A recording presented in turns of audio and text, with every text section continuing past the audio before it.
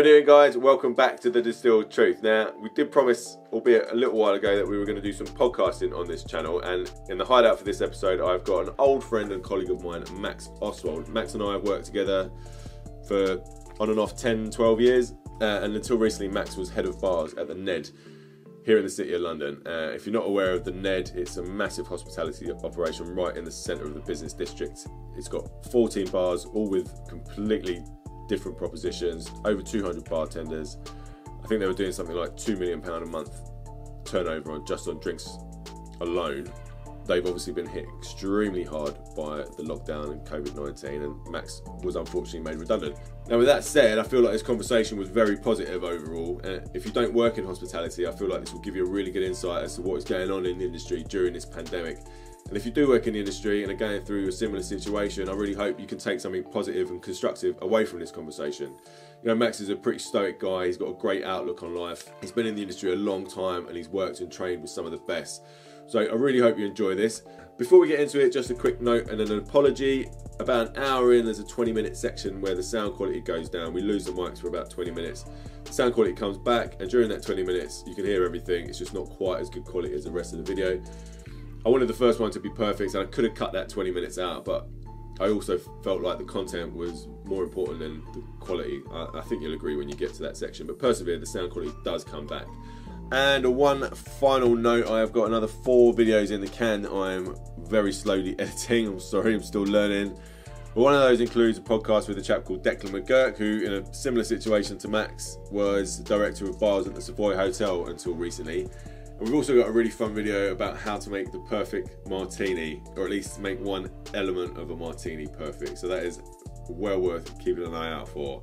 So without any further ado, here is episode one of the Distilled Truth podcast. Enjoy.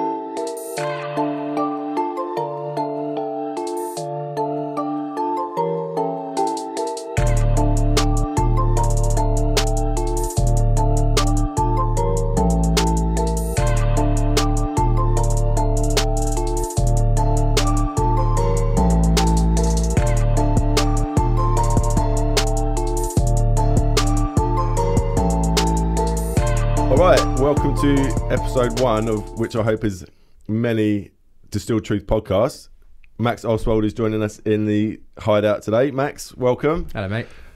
Let's crack on, shall we? Let's Uh, I mean, I've known you for 12, 12 years, years. Yeah. and we met at the Electric in Portobello Port, Portobello Road, one of the uh, Soho House members club. Um, you were Green. Green, Very green. wet behind the ears Very a wet bit. behind the ears. we sorted that out pretty quickly, didn't we? Let's well, let's let, tell us a build up to that because I don't really know much about it either, to be honest. So yeah. So uh, I think I've, I've been in the game one way or another since I was 15. Yeah. Um, fell into being a waiter at cafes and restaurants Yeah. and uh, decided that that was more fun than doing any studying. Came from a family of teachers, so basically just went against it as hard as I could. yeah, Uh, and then pre meeting you, I'd moved up to Yorkshire where I was running a restaurant uh, um, and bar in a boutique hotel.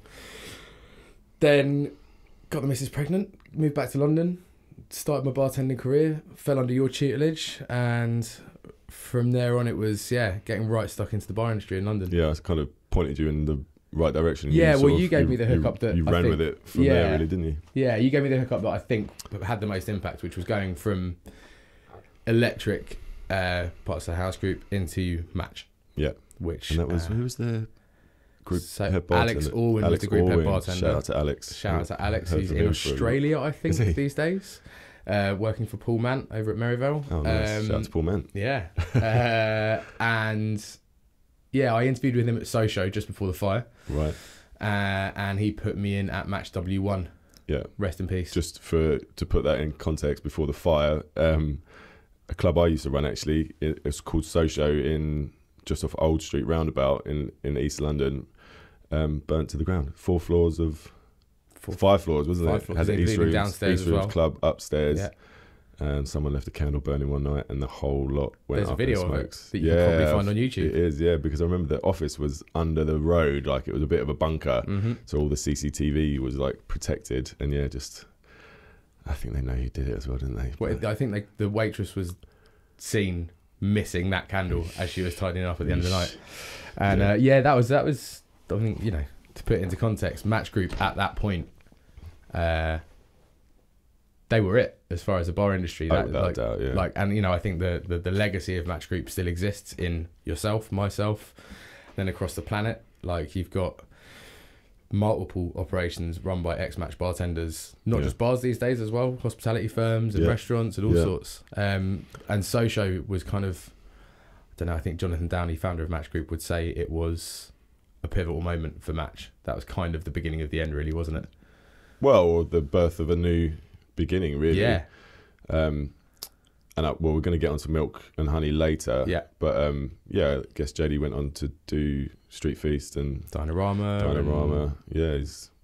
I mean, London he's Union. probably doing better than better now. I think he would very openly say that Yeah. going well, into maybe, the maybe of up until up until um, lockdown. But Yeah.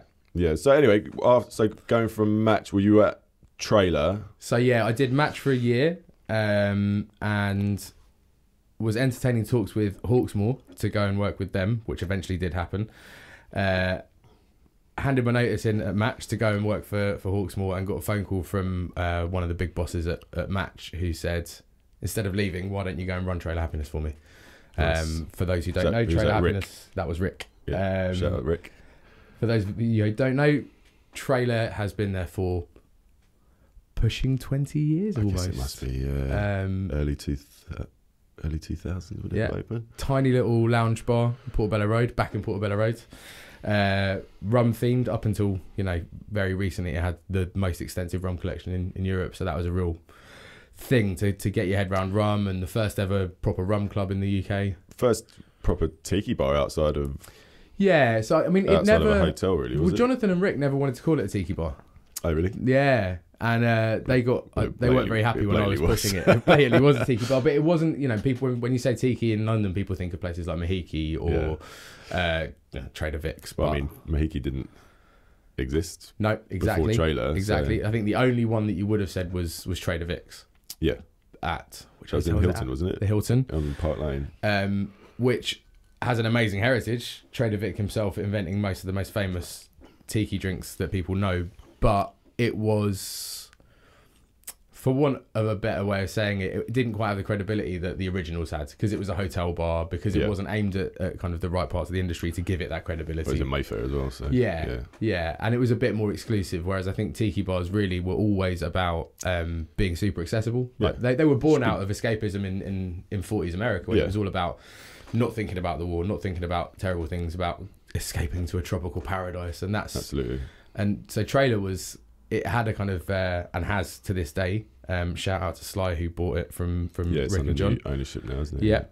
Um, it's got a real kind of 70s lounge bar vibe to it as well. It feels like someone's front front front room. Yeah. Um, and that was I think when I when I went to run it, very quickly you take ownership of that space. Sure. And there's there's like a long long list of great bartenders who've been It's involved a in that massive place. alumni, hasn't it? really? yeah, you know, uh, like I could I could reel off a load of names, but uh, I won't I won't bother because we'll just spend the whole chat talking about other people. Um, it was it was an amazing year. I learned a lot. I got fully immersed into every aspect of the industry, the good, the bad, and the ugly. yeah. Um, and yeah, opened myself up to a whole new world of, of drinks making because it was we took the drink seriously, but it was very much guest facing Yeah. it was much more about enjoying the people and the people having a nice time and being relaxed and it was about going Mm. on and on about how many Mm. Vintage cocktails you know the recipe for and Sure. boutique spirits you know we got we got our geek on in a big way about rum Uh-huh. uh, and I, I actually ended up bringing in the head bartender from Mahiki to help me run the place Who was that? uh, Alex Mazuris who Okay. is now global brand ambassador I believe for Don Q rums um, he's now living out in LA with his Nice. staffs and his new wife um, and yeah, it was it was an amazing experience. I mean, I don't think I could have done more than a year, and I think if you look at the alumni, most people do one year at Trailer. Is that a fact? Yeah, uh, I think Ricky Broderick probably lasted the longest. He's the guy that I took over from. Right. Um, but it, it takes it takes its toll on you. That place. It's uh, it's a, it's a proper party bar. Well, we were And, uh, chatting the other day. The last time I was I was down there, just popped in on a like a Tuesday night or something to say hi, and you got absolutely beasted and Yeah. ended up You, I pulled you behind the bar Yeah, to maybe a jumped- round of like jump behind twenty the five bar, meters yeah. or something. Yeah. yeah, which is Um, one of those places, I guess, isn't it? You could just get shafted out of the blue. Absolutely. You know, it, it could be a Wednesday night and you've got a couple of people booked, which was never really a big thing, bookings. And then, you know, it's West London. So 25 young socialites turn up Yeah. and want to get absolutely smashed as quickly as possible and listen to some banging hip hop, which was Yeah. basically what we did all the time down there. So going from trailer, So trailer ended, and uh, yeah, that was that was that was heavy going for me. So I I jumped out of the the cocktail scene for a little bit and came to work for you again. oh yeah, of course you did. Yeah. I totally forgot about that. yeah. Um, I needed I needed a bit of rest from uh, the heavy heavy uh, toll of, of the cocktail game. And you jumped And- into our pit of Yeah. So you were you were running the boozers at that point. yeah. I say boozers, they're more than boozers, um, and more than gastropubs. I don't think we ever called them gastropubs. Just, I mean, I don't think people watching the channel know this about me, but I had a few pubs uh, in East London in the uh, what 2009. I think I opened Yeah. a pub called the Hemingway on Victoria Park Road um, with a few guys from X match group as ex well. Match Group, yeah, Yeah. all ex Milk and Honey bartenders. Um, they probably appreciate me not mentioning that. yeah, we'll leave we'll leave them incognito. You can do some research online if you really want to who they are. Um, And so we opened that in 2009. And when you came to work for me in, must have been 2011. Maybe a little after. No, sounds about right. I get very patchy. Yeah, I think it was because we were you there when we opened Hunter. Yeah. I came on board as the hunter was opening. I think that was 2011. Then we Yeah. opened that. Um, or late, maybe late 2010. Actually, I can't Quite I don't know. It's all a bit. So I did that with you for just over a year.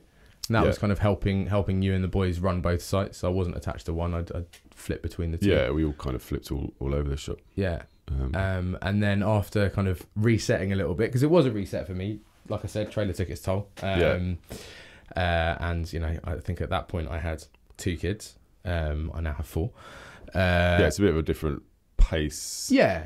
More. The you nights know, weren't as late. Yeah, The Sunday afternoons were heavy. and even though the bar industry used to come and hang with us at those pubs, it wasn't to It get wasn't- smashed out of their no, faces and coming out do lock Sunday roast or something, wasn't it? Yeah. Yeah, I mean, you know, as as a good pub is, it was a place to to relax and enjoy yourself, as Mhm. opposed to show off and get crazy every single Yeah. night. Although that did happen occasionally. Um, so I did that with you for a little while, and then Hawksmoor came and knocking again. Okay. Um, so Anyone uh, listening who doesn't know Hawksmoor's a, a, a cha- I don't really want to use chain's the word not the chain. word. People have described it as a chain, and I think uh, Will and Hugh, the owners, have. Yeah. Have pushed back on that, not in a nasty way. I th- you know, there's nothing wrong with a chain if a chain is done well, but they're a group, and so essentially they started off as a small restaurant in East London. Steak restaurant. Uh, yeah, Yeah. Uh, and they had a, a, a chap called Nick Strangeway involved who encouraged them to push the drink side of thing as Mhm. well. Um, and very quickly, very quickly, in fact, brought in a load of X Match people, Yeah. and the cocktail game became. Who were the first guys to go? Was Liam, Liam Davies. so Liam Sam Davey got involved, Tom Foxwell Tom got Foxwell. involved, Drew Gladwell, that whole that whole gang. Um, Tom Foxwell's another ex trailer alumni, Yeah. uh, and yeah, they it really blossomed for them. Mhm. the whole the whole drink side of thing to the point that you know of of all the restaurant groups that are out there and all the restaurants that are out there, I would argue that Hawksmoor was the first one to really say you should do your drinks properly too. You should Yeah. put as much thought into beverage as you do into food. And they I think they've been awarded for it. They on multiple, times. multiple so yeah, their their original site, which eventually that that was originally the head office in the basement, they converted into the first Hawksmoor bar, So the first one was Commercial Road, wasn't it? Commercial Road in Shoreditch. Commercial Street. Sorry, I always get confused. it's Commercial Street. Yeah. Yeah. Um, yeah, you're right. It is. Uh, Commercial Road's not very nice. No. uh, they yeah they converted the basement into a proper bar. Yeah. And that's now won multiple awards for best restaurant bar. And uh, Ali Reynolds. Ali Reynolds was there. Phil Duffy was there. Oh, shout out to um, Phil. Big shout out to Phil. Uh, Ex Heartbreak Hotel. alumni. Yep. Um, yeah, multiple great great operators have been through there. Um, most recently, one of my one of my kind of uh, Hawksmoor trainees took over, who's now gone over to New York to open their their first ever international site. which was just about to open Yep. pre-lockdown. Yep. Yeah. Yep, and they're now sitting was- there waiting. Mm, Oh my god, it's like heartbreaking. It is. Yeah. So you were at, you were at Air Street though, weren't you? So I was at their Piccadilly Yeah. uh, restaurant, which, which is would they tried to go? They go in a bit of a different direction. yeah. trying So they brought a guy fish- called Mitch Tonks on board, who um, runs the Seahorse down in um, Brixham, Mm. down on the coast. And the idea there was, I mean, with Hawksmoor, every single site had its own identity. Right. So you know, you've got Spitalfields, which is always a bit more rough and a bit more ready, and a bit more kind of friendly East London, and then you had somewhere like Seven Dials in Covent Garden, which definitely had a bit more of a tourist and a theatre trades. Um, I think it's my favourite Seven Dials. it's beautiful. Yeah. I mean, they, they are all beautiful. And then when they opened Air Street, which was their first, it was the first one that felt like they were they were really stepping up Right. into into the big leagues because it was you know it's a 240 cover restaurant yeah. in the heart of Piccadilly Circus. You look out the window of the bar, you can see the lights in Piccadilly Circus. It's and it's stunning. Like it Yeah, is, it's a great is- sight. you know, I remember. So I was there for five years in total, and I remember every Jesus, single time I really? closed. Yeah, Wowzers. every single time I closed the place, and it was just me in the building. Yeah, I'd have a little moment where I'm like, this place is absolutely beautiful. Like I feel ab- really, really privileged to be running a place that not only is the quality of product absolutely on point, Yeah. and it always was. Mm. Um, you know, I think one thing in our game is that you've got this constant push and pull between what you can afford to do, how you how you can afford to do it, Yeah. like what you're gonna, what you're willing to spend to make the money. Sure. And they very rarely sacrificed. Occasionally, we'd do things that might have seemed like, oh, is it cutting corners? But Yeah. we'd only ever do it if, if the quality was on point.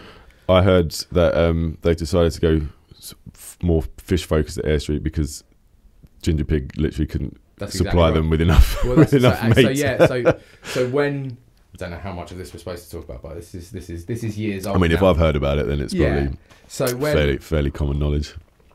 when Air Street opened, Ginger Pig, who are now kind of synonymous with good meat, they've, they've got their, their butcheries in, in East London and all over the place. People know. Yeah, you see them on like Christmas Eve. There's like a queue of hundreds of people waiting to get their Yeah, waiting to get their Christmas turkey. Yeah, and sausage rolls, which is the thing that they seem to be most famous Right. for for some reason. Um, they came on board with Hawksmoor very early, bringing them really interesting, like high quality meat. Mhm. Um, and that's Hawksmoor's, you know, got a very good understanding of meat. Yeah. really, really good. They were the first sort of big restaurant to rock a Josper as well. I think, weren't they? Yeah, they were. The, yeah, they were the first place to do Josper at scale. Right. Uh, lots and lots of restaurants over the years have, have had a Josper grill and kind of done Yeah. nice, interesting little things with it. But yeah. The the way in which Hawksmoor understands steak, you know, under the tutelage of uh, Richard Turner, Mhm. shout out to Big Rich, um, they yeah they really understood the way to do it properly and, at- and at scale. And at Hawksmoor, like you know, at Air Street, sorry, 240 covers, we could do 400 plus in Yeah. one evening. People didn't have to wait a long time for their steak, and steak takes time to cook. They know what they're doing. Yeah. So yeah, when that when when Air Street opened, the the, the big thing was uh, Ginger Pig couldn't keep up. They just couldn't keep up. It was you know it was insane the amount of cows that were that, that were being uh, Yeah. well looked after until the end of their until the end of their fruitful life. Um, and they brought in a couple of two other meat suppliers, but those were very much rare breed. So Right. it was it wasn't about bringing in another bulk supplier. It was about having For some the other premium cuts options and stuff. Yeah. for the more premium stuff, and then fish, Not to say that Ginger Pig isn't premium. They're super premium. super premium. almost yeah. arguably too premium Yeah. sometimes. Um, so yeah, Mitch Tonks came on board. They've got a guy called Nigel who does all the does all the uh, kind of the sourcing of the fish. Every every day he would call up the head chef and be Yeah. like, right, this is what's in, this is what not, what's not in. Stunning, stunning, stunning, stunning food. Um, so Air Street had that more that slight more of a fish lean to it. It was also one of the first sites they'd done that was above ground. Oh, of course, like yeah. so. So Spitalfields was above on- ground, yeah, but, the it bar was underground. very- yeah, it's very exactly. enclosed. Um, Seven Dials is a basement. Yeah. Guildhall's a basement. Yeah. Uh, and those were the three that were open when Air Street number four opened, Mhm. and it was. Oh, did Guildhall open Yeah. before that? I Yeah, thought it was, Guildhall was- I thought that was a fourth. no, Guildhall was site three. Um, that's Guildhall in the city for anyone who has returned to their offices. Not many. No, Not Um, many. And it was lighter, it was area, it was bigger. We needed to be able to serve people fast. So yeah, Yeah. they brought fish on board, and and arguably to this day, I would say that the monkfish that you can get at Hawksmoor Air Street is the best dish on any Hawksmoor Nice. menu. It's beautiful. I mean, this is a drinks channel, so So let's talk about. so with the drinks, drinks. um, so yeah, so I, I started off there. I actually went in as a bartender. Um, Adam McGurk, another ex match guy, was the bar manager. He'd been trying to poach me for a few years since Yeah. match. Um, he wanted me to go on board when they opened Air Street as a head bartender, Right. but I decided to go and run a pub. um, I never regret. uh, and um, I came in as a bartender. Then I think it was 18 months later, I was ABM, assistant bar manager. Right. Um, then Adam moved on to Pastures New. He went to work for Jason Atherton at City Nice. Social. Uh, I'll let Adam talk to you about that one day. um, and I took over. Yeah, I think it was it was just before my two year mark. I took Mhm. over as bar manager. So for the following three years, I grew into the role essentially of group bar manager Nice. where bef- just before, well, about a year and a half before I left, I wrote the menu uh, with the other bar managers, but predominantly me working with Hugh, one of the owners. Wrote the cocktail list, spent a lot of time working on all the deals, and kind of became, you know, not this, and this is not a toot in my own horn at all. I kind of became the face of the bars for a little while. Ali was always over at Spitalfields, and Yeah. Ali Reynolds, for anyone who knows him, you can't take any limelight away from that man. Uh, No. It shines on him constantly. Yeah. Um, Rip it off you if you. Yeah. and he would admit to it too. Um, but in terms of dealing with the, the, the kind of the logistics of Yeah. a big bar operation, and I loved it. It was amazing because again, Hawksmoor don't sacrifice on quality, No. and they, they do have a big belief in understanding what happened before, what's Yeah. going on now. What was it? Is Ali's trend. background? Is he match? Ali, no, Ali's not match. Ali is part of the, the Brass Monkey set from, from Nottingham. Right. Uh, so him, Adam McGurk was there before Right. he came to match. Uh, Gareth Evans, global Absolut ambassador, Mhm. um, and a handful of others. Uh, and then he came down to London. I'm not sure where. I think he worked for Jason Atherton before he came to Hawksmoor. Right. I think he was at Pond Street. Um, and then yeah, came on board, and you know, like he, he is a great bartender. He's, Yeah, he's very World good at what he does. World class UK winner. Um, and then went to work for Diageo, as often world class winners do. Now Johnnie Johnnie Walker. So I, I don't know if he's strictly Johnnie Walker anymore. I think he's kind of all of the I don't know how they you know all these different Yeah. catchwords: prestige, Yeah. deluxe, Yeah. uh, super on trade, Yeah. mega VIP. um, but that man knows his whiskey. Uh, him and Colin Dunn, who uh, is, you know, Yeah. He's a big player in the whiskey world. Um, they work very closely together. He does incredible masterclasses, and I think you know one of the things that I'm not going to shout out Ali too much, but one of the things that Ali does really well is he makes whiskey super accessible. He makes it fun. Yeah. He takes the stuffy old man in a suit thing out and, and just kind of talks about it like it is. It's just good liquid to play with. Don't have to drink it neat. Put it in a, put it in a cocktail. Awesome. So yeah, at Hawksmoor, we, we you know I did a lot of work on the menus. I did a lot of, lot of boring back of house stuff, learning Mm. the learning the ropes of how bars actually operate, um, especially at that scale. Um, and then it came to yeah, just over five years in, and I needed a change. Yeah. You know, Five years is a long time. It's a stint. Yeah. It's a stint, and I think I became very aware of uh, something that, as a manager, you have to be aware of, or as anyone in in an industry where promotions occur. Are you blocking the pipe? Are you stopping other people from progressing by just holding a position? Yeah. Uh, and whilst you know, by that point, I had four kids. Um, it was important for me to have that stability and a decent paycheck, Sure. which was all there. You're still doing shifts at this t- uh, bar shifts at this Oh, point. yes. Yeah. yeah, yeah, yeah. I would make a point of at least at least once a week. I would go and rock dispense. Yeah. Um, so the way Air Street's structured is you've got a front bar which is just for drinking and a little Sure. bit of dining, which we which we changed whilst I was there, and we've got kind of a bar menu in place and some specials and all the rest of it. Um, so there was the bar, and then there was a dispense bar. Right. Uh, and for for non-industry people, by dispense we mean no customer service. You're Yeah. not talking to guests. It's just expediting drinks make for, drinks. for tables. Yeah. Uh, and that one bar, which was a, one of my favourite bars ever to work on, would serve all the cocktails and all the hot drinks and all the soft drinks for all 240 people. Nice. Um, Do you have a bar back? team of barbacks, Spanish squad, um, but not with you 24 7. Um, So I'd pull people in and out, and often we'd have someone on a floating shift. So you'd have one bartender there fixed, Yeah. uh, and then people would check in for the little rushes, predominantly the coffee rushes, because on that kind of handover between the first sitting having coffees Right. and the second sitting coming in for their cocktails. Yeah. So you would get absolutely annihilated. Um, Nice. But it was great fun, and that was a big thing for me was to keep my technique up, Yeah. uh, and also I think in our in our game, it's tough to respect a bar manager who can't make drinks. No, of course. What was the training program like at Hawksmoor? I, I helped a lot with that. Uh, it was it was never uniform across the whole group. There wasn't like a first Tuesday. No, like so I tried to implement that a little bit more. Yeah. I started bringing a lot more brands in. I started doing a lot more testing. Um, in fact, if you pick up the last of the Hawksmoor books, there's a really beautiful little uh, setup of me teaching you how to do round building. Nice. Um, and uh, we we tried to standardize it, but again, if you standardize too much, you become a chain. Yeah. And you take out personality. I think the point was to standardize recipes. So if you went to Spitalfields on a Tuesday for a drink Yeah. and ordered an old fashioned, I think classics need to be exactly. across the. What- and- what was and the reason for a not- list itself? I mean, chain's not a great word, but if a group like that, you kind of there's a level of quality that you expect and that you know you're going to get, which I, I think is a positive thing. I don't. So yeah, there, there was an induction, um, and the induction was run you through the cocktail list, run you through the kind of the, con- the core concepts Mhm. in terms of whether it's the beer offering, the wine offering, whatever.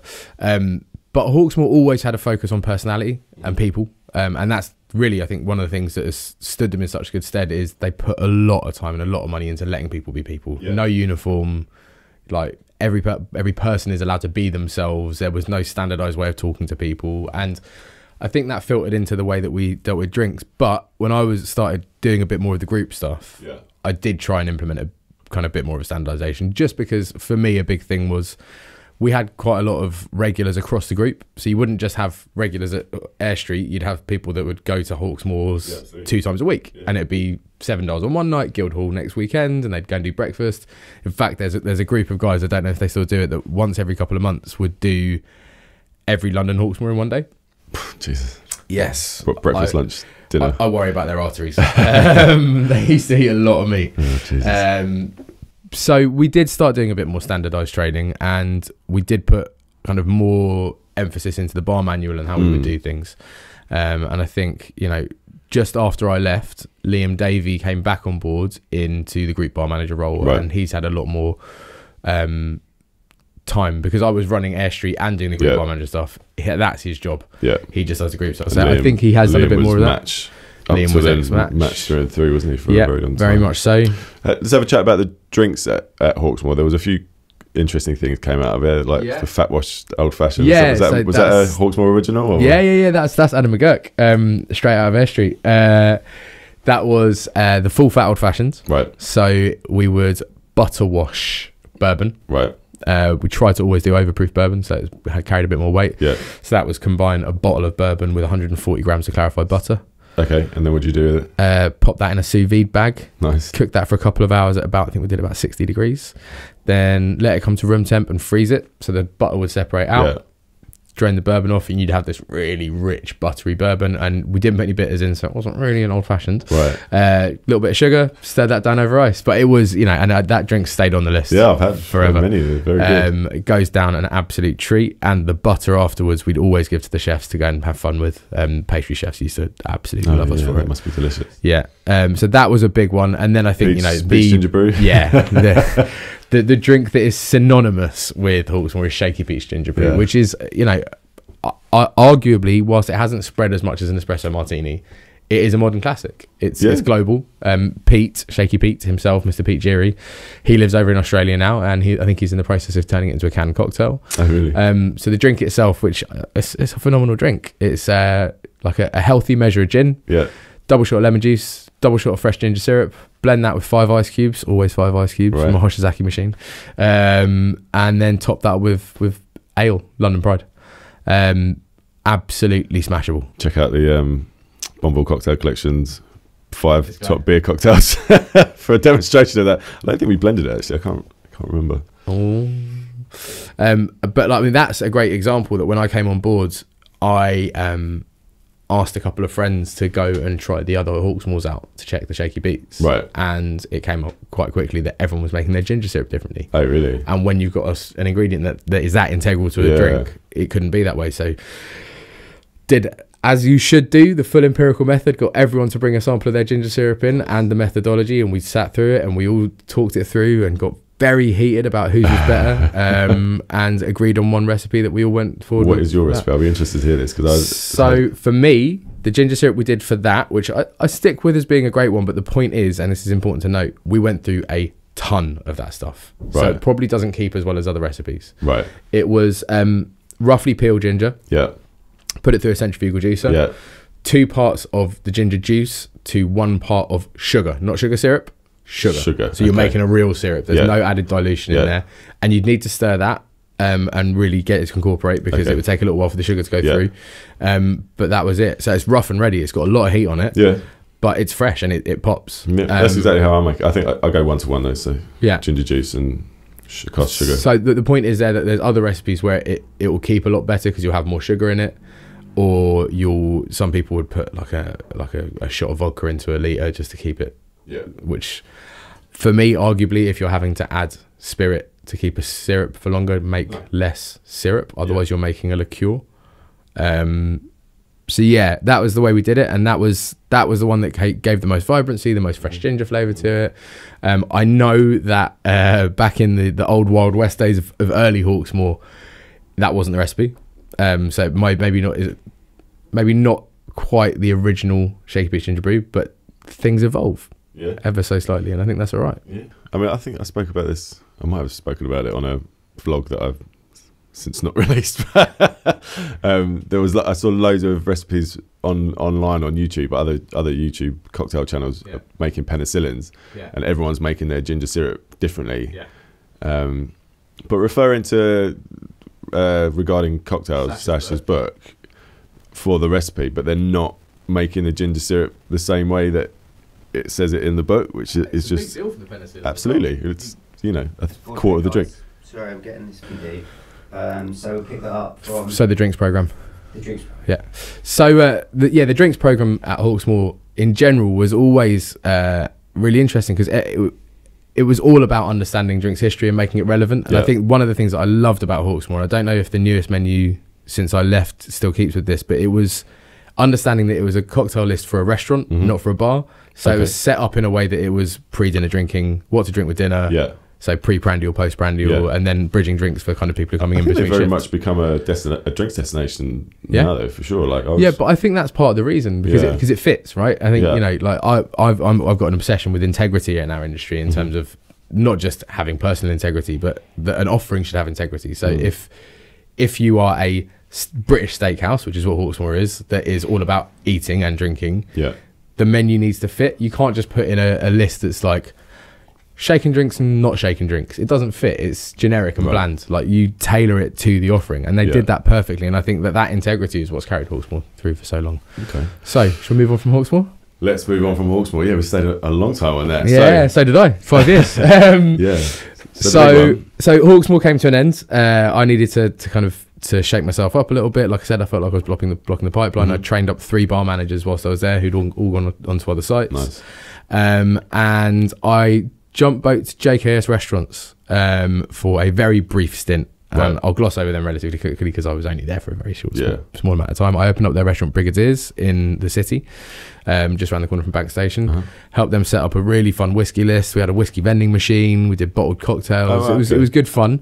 Um, but the opening was taking its toll on my family life because I was doing like ninety plus hours a week. Yeah, And uh, as, as, with, as you do with new openings. yeah, and uh, it didn't feel like it was going to end anytime soon. So I was kind of thinking, right, maybe this wasn't the right choice, Mhm. but never regret, keep on going. And I got a phone call from the Ned. Tell us about the Ned. So the Ned is a 252 room five star hotel in Yeah. the heart of the city, Mhm. in the old um, Midland Bank headquarters. Yeah. Um, designed by Edwin Lutyens, which is where it gets the name from because Uh-huh. Edwin's nickname was Ned. Right. Uh, it has two private members clubs. It has a spa. It's got two swimming pools, uh, and most importantly, it's got like 14 restaurants and bars. Right. Um, it's the first of its kind in the UK. There's nothing like it, and Yeah. arguably even in Europe, there's not much like it. So under one roof, there is an Italian restaurant, there's an American bar, there's a British lounge Mhm. restaurant, there's uh, sushi and, and kind of Japanese fusion style food. There's an American deli, then uh, and the list goes on and on, and a steakhouse. And um, they approached me to apply for the head of bars position. hmm So head of bars there entails overseeing 180 plus staff, Right. almost 200 staff, um, beverage turnover of uh, yeah very healthy numbers, a Yeah. couple, a couple of mil every month, um, and a lot of work, a hell of a lot of work because it's uh, it's a beast of an operation. You know, it's a hotel, so 24 Yeah. hours. Um, always something going on, lots of staff to look after. So I interviewed for that, uh, and you know, got the position. Yeah. Took over from a chap called Dan Berger, who moved back up to um, back up to Manchester. Shout out to Dan. And uh, yeah, spent the last two years of my life. It's been two years. Yeah, Wow. spent the last two years of my life cracking that whip, spinning them plates. What were the um? Just describe in a nutshell what the style of drinks, or is it just completely different? Well, so 14 it's part of the? House group, Yeah. um, which has a big impact on the way it's operated from a Mhm. food and beverage perspective. Mhm. Soho House are very much about taking fuss out and Right. making things approachable and welcoming. So the drinks are classically styled, which Mhm. suits me because I'm a classically styled bartender. Yeah. Like I have a lot of respect for the those luminaries in our trade that do things avant-garde and, and Yeah. not like me, but that's just not how my brain works. You know, I think if you can make a drink with three ingredients, it's probably better. Um, It's the words I live and die by. yeah, uh, you know, if you can do sweet, sour, and spirit, then laughing. Mhm. Um, and every drink is classically styled. No fuss on the garnish. Keep it, you know, as approachable as possible. Mhm. But then, having said that, 14 different menus in operation at 14 different offerings. So, Malibu Kitchen, for example, which is a tiny little kind of American healthy offering, Yeah. we had to think about lower ABV drinks. Mhm. We had to think about removing as much sugar as possible, Mhm. using slightly more interesting uh, ingredients in terms of maybe like using dragon fruit as opposed to going with the standard apples. um, uh, then you've got Cecconi's, which is an Italian restaurant. Yeah. So you know, very quickly there, I sat down with the bar manager and I said, like, you don't have a Negroni part on your menu. You've got a Negroni on there, but you don't. You don't have like a Negroni menu, which these days, what are you doing? Yeah.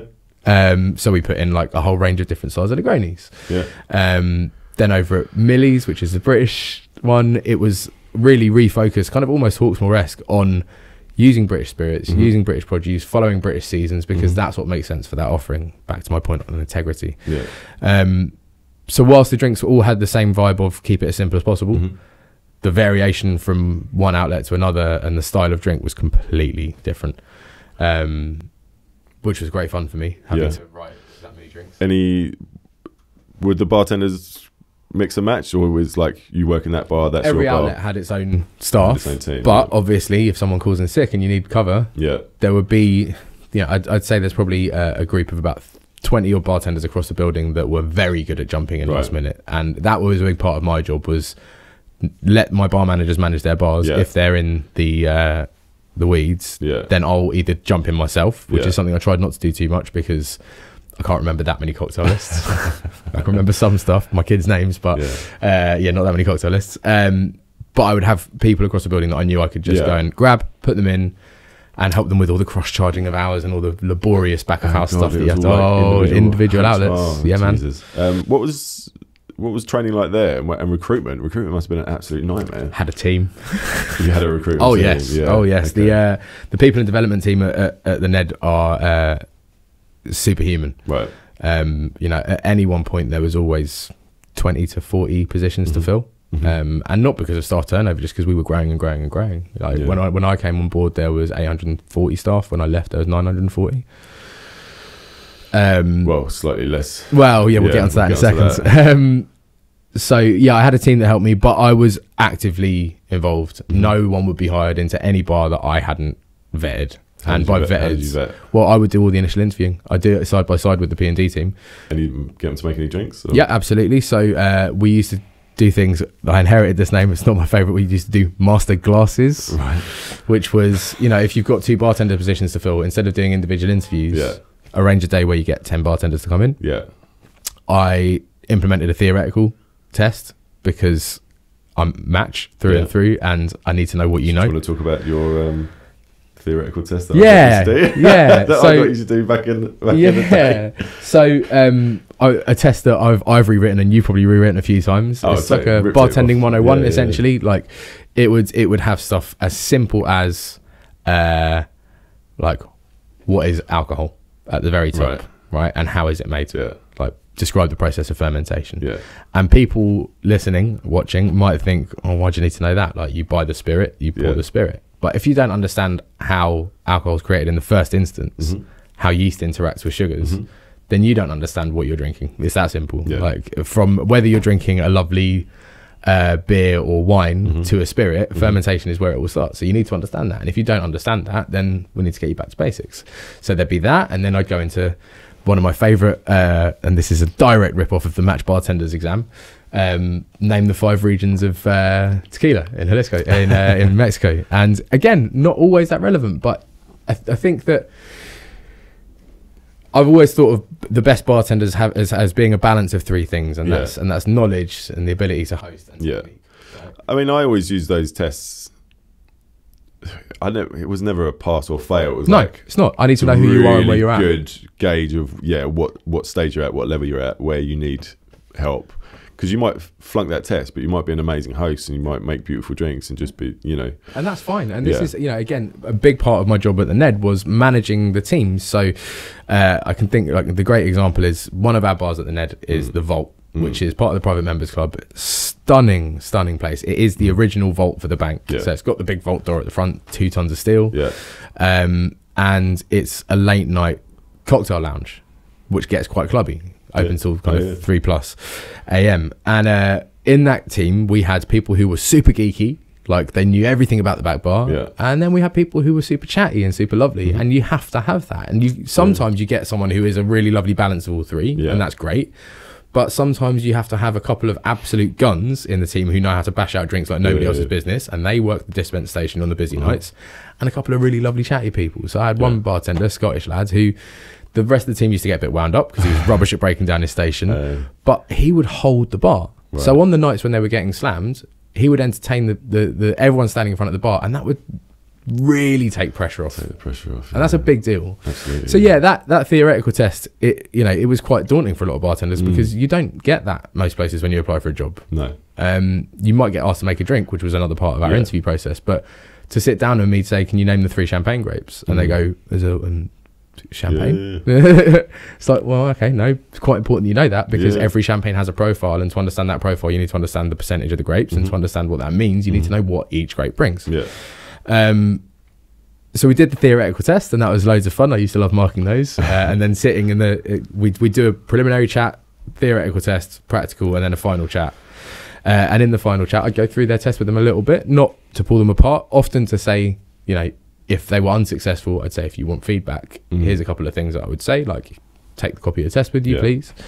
Um, and then I would do a practical thing. So I my my general rule for practicals is, um, I'd give people an example of where I'm at in my evening, like a role Mm. play. So I'd say, look, I've just turned up with my missus. Okay. We're about to go for dinner, Yeah. um, and she would love something to get her palate ready for for the meal.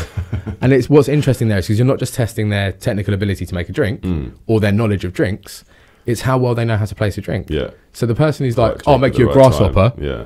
before dinner," you sit there, you're like, oh, Mm, "That's not. not really what I'm Yeah. feeling." Like someone, most people, if the amount of Italian bartenders I interview, they go, "Oh, do you like Negronis?" It's Yeah. like, anything else? Yeah. Um, Well, the granny's. but it's a great drink, and it's, and you know, again, it's one of those drinks that you can't fuck up, but you can make a bad Negroni Yeah. if you don't know what you're doing, and it's it's interesting to see how they balance Oh, that. you can definitely fuck up with a Negroni.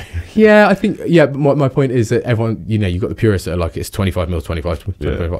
It doesn't have to be that. You can rebalance. Yeah, if you're using a stronger gin, then maybe you're going to bring the gin down a little bit. Or, anyway, uh, so I'd do the pre-dinner drink, I'd do a post-dinner drink, Mhm. and then I'd say, and this was always one of my favorites because it really puts people on the spot. I'd say, I'd ask them a question. I'd say, like, who's who's your hero in life? Don't say mum and dad. Who's your hero in life? and you'd like sport person or musician or Yeah. sometimes you get a really interesting answer. Like bartender I hired once said John Steinbeck, who's my favourite novelist, and I was Right. like, "Don't worry about it, mate. Just- yeah, you got a job." um, and I'd say, "Right, they walk into your bar. What do you make them?" Yeah. Oh, nice. And it would take a couple of minutes for people to go, "What?" It's like John Steinbeck walks into your bar. You recognise who he is. This is your moment to make a connection with your hero. Right. What do you make them? They ask you for anything. They just say, "Make me a drink," and that would always be really interesting because you'd get some people who go really experimental and Mhm. totally mess it up, and some people would just lean on a classic that they know really well, but use the best spirit they can find Yeah. and really put a lot of love and passion to Yeah. it, and that's really telling because you know that shows me their their kind of on the spot creativity, Mhm. which is a really big thing for a Mm. bartender. How how you react to that. Okay, that actually leads me quite nicely onto the, a question that I wanted to ask. So, t- two years at the Ned, five years at Hawksmoor, kind of like the most senior person in the bar. Who, and I'm not fishing here. Who did, who who did you look up to? Who was your sort of inspiration, mentor? You know, or was it you kind of just left to your own devices? I've got multiple mentors. I think you know, and uh, this this is not this is not responding to your fish, but you were my original mentor in, the, in the cocktail game, and I've always leaned on you as someone throughout the Yeah. years, whether I'm working for you, or not working for you. There's always been the Yeah. occasional message of like facing this issue. Yeah. You think? But I very much got you to a point, and there was like, and I think I probably said it to you, like, this is as this is as far as I'm going to be able to take you. Like, you need to go, spread Yeah. your wings, and yeah, Um, following on from that, there was there was always a handful of people, and they weren't always bar people. No. Um, in fact, Will and Hugh must have been. Yeah. yeah, Will and Hugh, the owners of founders and owners of Hawksmoor, were phenomenal. And you know, I I, I, I know we spoke about Hawksmoor loads, but it's worth noting those guys employ 700 people. Mm. Till the day I left, they remembered the name of all four of my kids. Oh, So they wouldn't just say, "Oh, how's family?" yeah, They'd be like, "Oh, how's Lily doing?" yeah. And it's like, do you know what? That means something. And that, and I learned a hell of a lot from them about people. Yeah. Um, so I think I had different mentors for different things uh, throughout my industry time so far.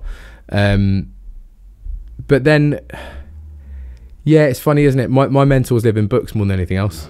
Um, I spend as much time as I possibly can reading, which when you work in our industry and have four kids is quite hard.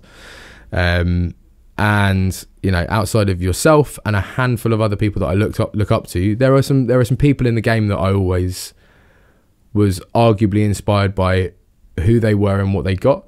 I think like if, if I was to kind of run off a list of names, someone like Jeffrey Morgenthaler over in the States, Okay.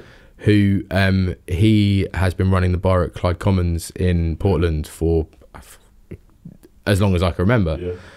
Um, the man makes great drinks with no fuss. You know, if if I he, he's he, his is one of the books I give I give new bartenders. Yeah. You ever tried one of his drinks? What, what by him? Yeah. No. Oh. But um, yeah, but i i whether or not his drinks when he makes them personally are the best thing in the world, his philosophy about it and the way he presents himself, he's not pretentious. No, absolutely not. in not. the slightest, and that No. for me is a really big I, deal. he might make amazing drinks. I don't know. I've never had I think he probably does make quite good drinks. I don't You think that though, and then you, I don't know, you get a drink. well, I never meet heroes, right? I, I, in bartending, it is it is never. There's never been a truer word said. I've been really. I'm not going to name any names, No. but you know, yeah, I've Yeah, been disappointed a few times. knowing looks at the camera. Uh, Yeah. Um, Yeah, it's a, yeah, but you know, I think never meet your heroes is a big thing, and I think in the bar game, I'm I'm not looking to learn how to make drinks from these people. Like, not being arrogant, I know how to make a good Yeah. drink. I can balance a cocktail. uh, But- a lot of it's about philosophy, isn't it? It is about Yeah. philosophy. It's about approach, and I think a big thing for me in our game is removing pretentiousness Mhm. whenever I possibly can. I really hope I had a big part. a big Yeah, part no, you absolutely did. that. you know, we, we, we were we were smashing out treacles and, and stuff, but we had a bijou on the list Yeah. when I first came on the electric, and that is a drink that's steeped in history and is very bartender oriented, but it's a great drink. Um, quite a lot of passion fruit martinis as well. Do you remember my last shift? Let's talk about that another time. go on, go on. Can we talk about it? Yeah, why not? I don't, I Uh, don't remember it. But So it was it, like I think the thing at uh, Electric House was people were really into uh, passion fruit martinis, and uh, we had a table that were going through them at a rate of knots. Mm. And because I was leaving, and because I was a cocky little idiot, I thought this would be really funny to see how mu- how much I can get away with. Oh, by not putting any booze. I think the last three rounds of six passion fruit martinis were 50 mils of passion fruit syrup, 50 mils of passion fruit puree per drink. That was it. great GP. No booze. Uh, you know, you Dash gave me a lot. I gave you something back. Dash of Passoa, maybe. Sorted out your GP for the month. Yeah. Um, yeah. So I think kind of with the hero thing and the mentor thing, um, I'm not looking to learn how to make drinks from these people. I'm No. looking to look at how they approach the industry and what, what they value more than anything else. Yeah. And with people like Jeffrey Morgenthaler or even Sasha Petraske, right? Yeah. Like the guy, rest in peace, Sasha was was mad in a lot of ways. But Christ, what he started.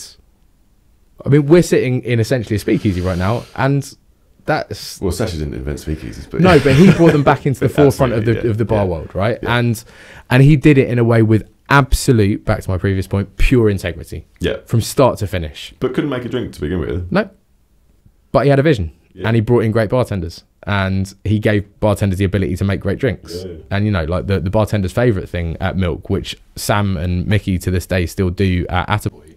Absolutely, yeah. I mean, listen, if if Dale hadn't walked into Milk the day he did, and they hadn't got that relationship, and then Milk had never come to London, Yeah. it's a good chance neither of us would be sitting I, I here now. I believe that wholeheartedly. Yeah, I believe that wholeheartedly. Um, so, you know, I, I look at people like that and I think you model yourself after what they aspire Mm. to, to aspire to do and aspire to be. And I think it was for me, you know, if what you're doing is is being done the best you can possibly do it, then you're someone I want to model myself. Yeah. after. If you're doing it for the right reasons and you're Yeah. putting the time in. Yeah, let's let's have a talk about that if if we may. Like, how much importance?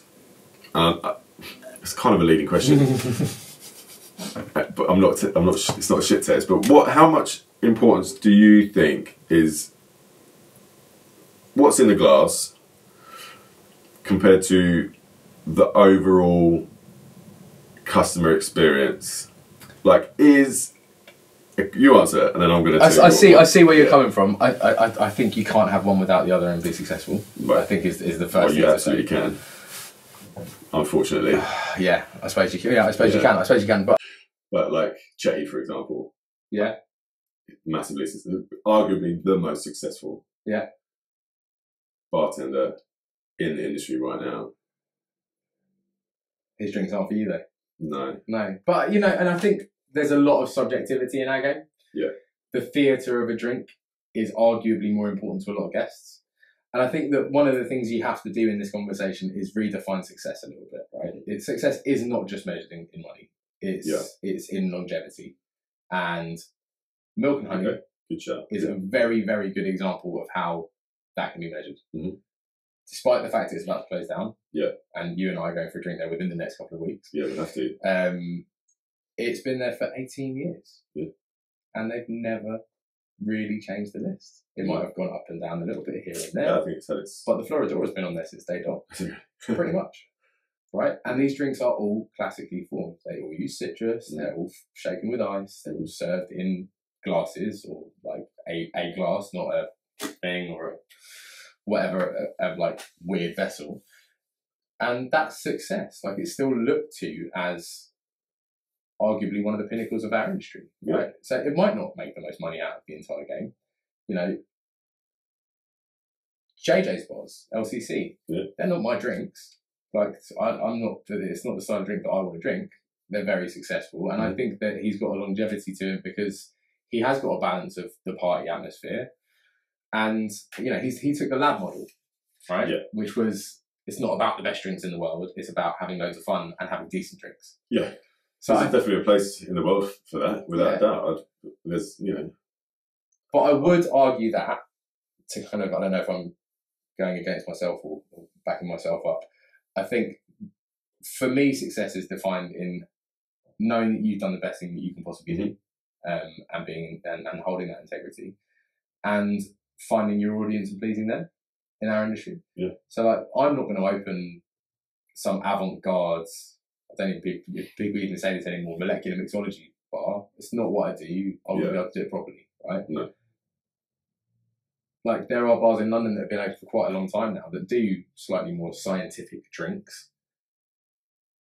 I'm thinking of one in Islington. yeah, Um, still there. still there, yeah. Get a good classic in there as well. You though. get a good classic in there, Yeah. but they do like there's a lot of science involved in their their their, their listed drinks. Yeah.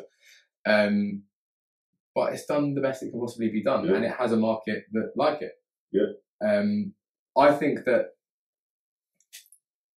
if you recognise what you're trying to offer and you do your offer the best that you can, Mm. and the audience reacts well to it, and you carry on doing that, then you're in a good place, right? I, I do think, and I've said this quite a few times, especially kind of uh, over the past few years, you can cover up average quality product with excellent service. Yeah. You can't cover up terrible service with great product. there's a there's a differenti- differentiation there though, isn't there? Because if you're serving something and this is like this is the shit, this is amazing, this is the best you're gonna get, Yeah. and you're like, this is it's not. But if you're trying really hard, like and I've tried my, uh, you know, someone's tried their best, they've given really good service, Yeah. and they probably know that it's not the best drink Yeah. in the world.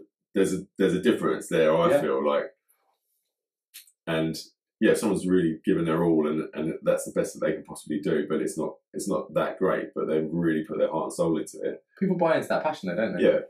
and that's the service side of things. That's the Yeah. Do you know what? He's lovely. Like it might not be to my taste, but Yeah. what a lovely place, and the atmosphere is nice, and they've got Yeah. the lighting right, and it's soft and it's comfortable, and I want to be here. Yeah, yeah. And there's, you know, you hear a lot of bartenders talk about, you know, you know, trying to be creative and be experimental and and Yes, stuff I like that. I've just been managing a lot of. Yeah. But and you, but but they'll put lists out with stuff that isn't, you know, they're experimenting on. Whereas like if you go if you go to a restaurant, a chef would Won't put it on the plate put until it it's ready. until it's ready, and they will taste it and try it and refine it and get it better and better. It's like, well, we're gonna let's put that out there and see what the customers think. It's like, no, they're not gonna. It's not gonna happen in But there's food world. there's a there's a broader argument there that the chef doesn't get to explain it when he's doing it. So whatever goes out on a plate, once the waiter picks it up from the pass, Yeah. that's the involved that's the chef's involvement done, right? Whereas with a bartender, Mm. you can walk back over there two two sips later and go, "Mm, I think you're enjoying that too much. Can I talk you through it a little bit? And then it's not necessarily a good thing to have to explain if something's crap, but you can interact and you can talk through it, and there's that service side of things. I'm not. I'm But not. if you have to explain why this drink is crap, then why? Then why did you say Why did you out in the serve it? Yeah, well, Yeah. because everyone's got a Oh, that's subjective palate, right? to taste. but, but I've had this conversation with people, and you know, like managing the Neds, uh, running all those different bars with different bar managers, different head Mhm. bartenders, and different bartenders, where we're putting lists together. And I think you know, whenever we did a list at any one outlet, I would say to the bar manager, "It's not just me and you writing this. I want Yeah. your team involved." That would open up a lot of hard conversations where someone would be like, "I don't know, I've I've done a char grilled passion fruit, and then I've made a cordial, and I've used this and this and this." And this. I'd mm-hmm. sit down with them and go, have you tried buying that product first to see if you can get it better? And they go, oh yeah, but homemade's better. It's like, well, not always, especially not at scale. Or, you know, I really like this combination of mezcal and, Yeah. I don't know, like Yeah. pear juice. And you're like, well, I see what you're saying, but 99% of people won't like that. So that's very subjective to your palate. And I think you have to work through those processes. And it is the job of whoever's at the top of that bar Yeah. to say that's not good enough to go on the list. Although you do always have Or on a list. we've, you've got a seven-figure monthly drinks turnover. Are you going to be able to recreate that right. exactly the There's, there's a lot of factors, but I think you do always on cocktail lists reserve a spot for testing the audience Okay, um, to some degree. Like as long as it fits within the rest of the offering, it's not like you have like we're on the same team when it comes to. hundred percent Yeah. like make me classic cocktails well before Yeah. you start playing. And this is also a big thing that I did with my bartenders was I would randomly test them all the time. Right.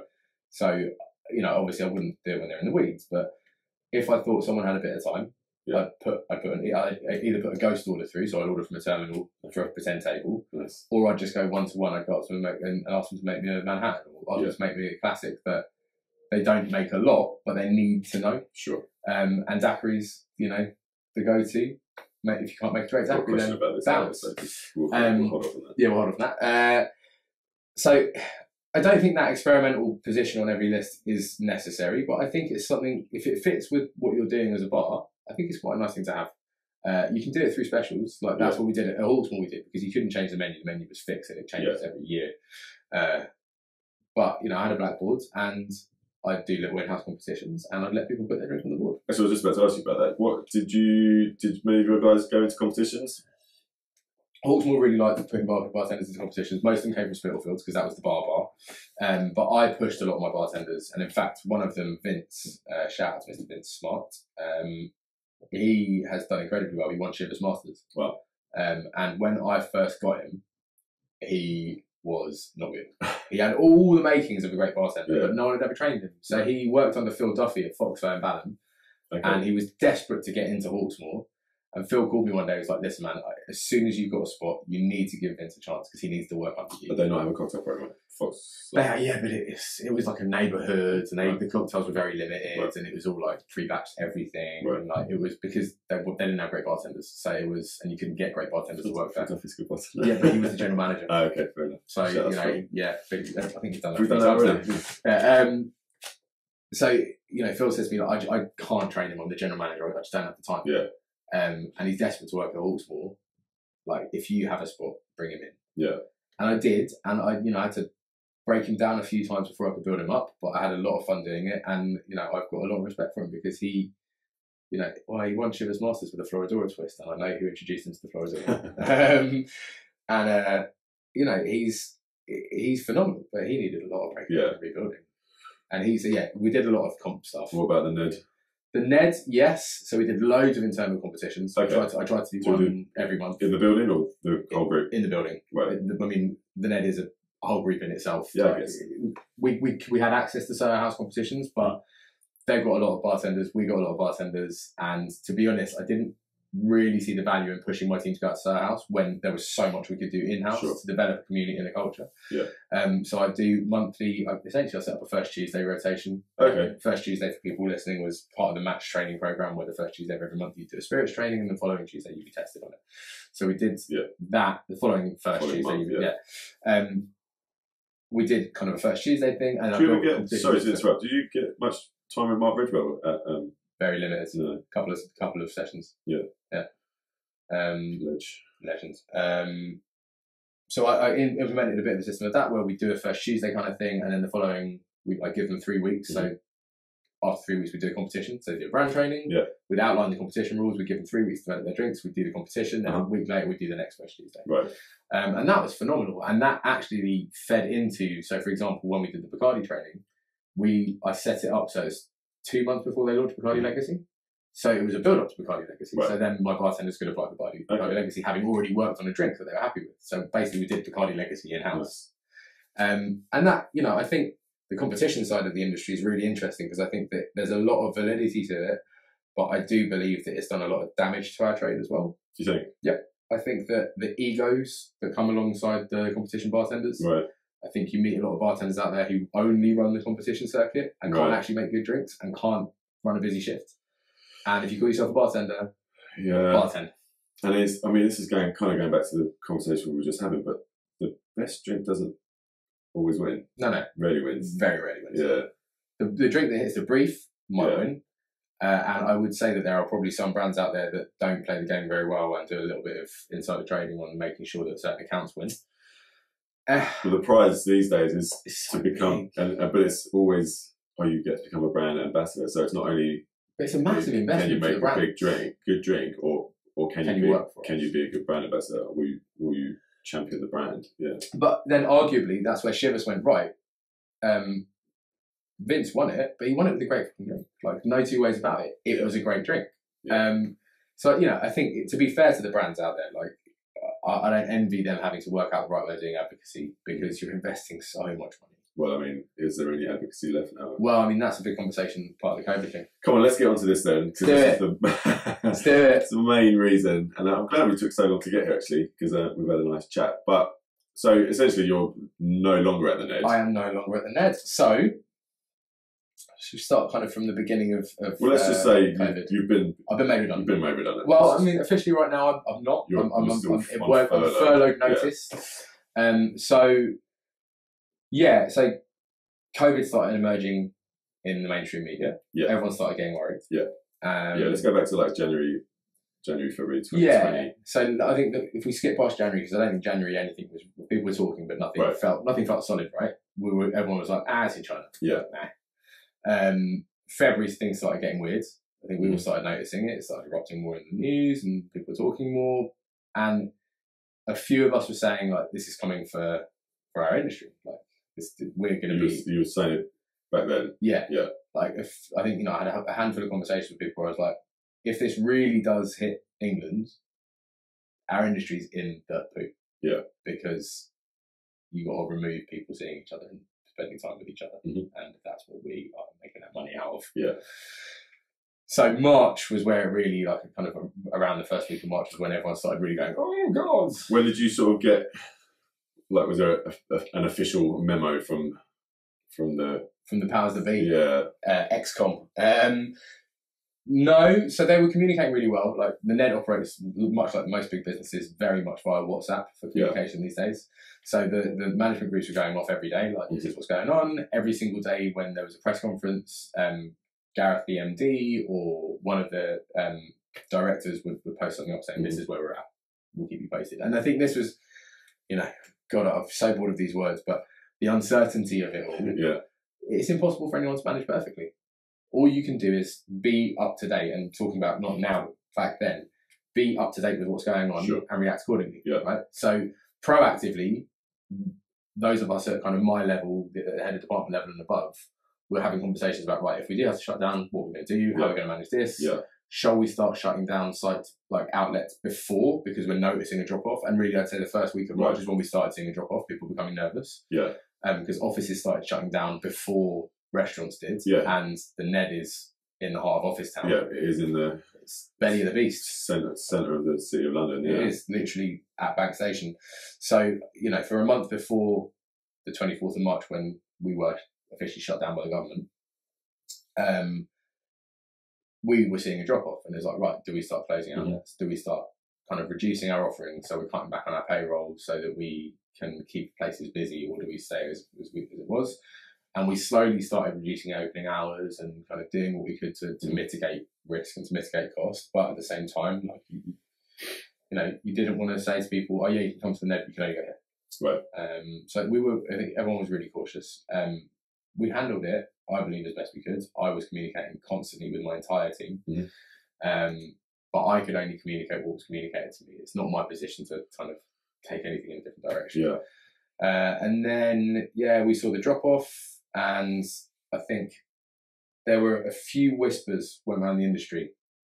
Like, I think, you know, let's say the 18th of March, maybe a bit before, Mhm. next week they're going to shut us down. A few of us heard it. I spoke to the MD, I spoke to my the F&B director. I was like, have you heard it then? Yep, we've heard it too. So we started preparing for it, but obviously you can't pull the plug without the government pulling the plug. No. So we waited till the 24th, and Boris went up and shut us down. So, I mean, for those that don't know, I had bars until uh, late last year, and I've ma- massive survivor guilt a little bit over the over the whole. Dodged the bullet. Yeah, really dodged the bullet. Um, so just tell what is that? What what was that like? Like what's that that day?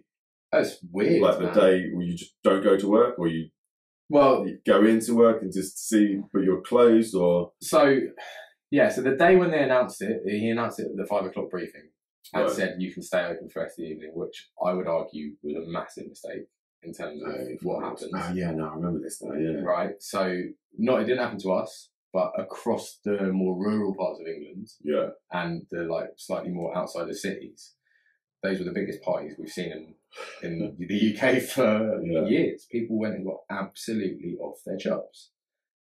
Packed out pubs, packed Yeah. out nightclubs, packed out everything. yeah, Bad idea.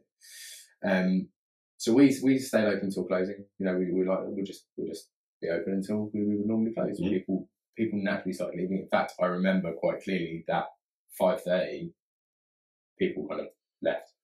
And so, but you've got 200 rooms at the Ned as well. So what? 252. So uh, they were almost completely empty by the time we got there anyway. Right. People stopped travelling a, long, a long time before that. So, know, So what was the deal there though? Like, any guests left? And you just like package up? But you know what? I, I stayed out of that. I had enough Right. to keep. I had enough on my plate. Um, the hotel, you know, the, the way the Ned operates is you've got hotel, you've got F and B, Yeah. food and beverage, and whilst we cross over, in terms of the management of it, Mhm. like you can have that. Like that's, Yeah. that's we we keep it separate. We Fair keep enough. it distinct. Yeah. Um, and again, I think they dealt with it really well. David Lockhart, the the, the hotel director, is is an incredible human being, and he's he's very good at managing people. And I, you know, I think anything that he did, he did the right way. He's been heavily involved in the reopening in terms of health and safety and Yeah. implementing new systems and technologies to make it work.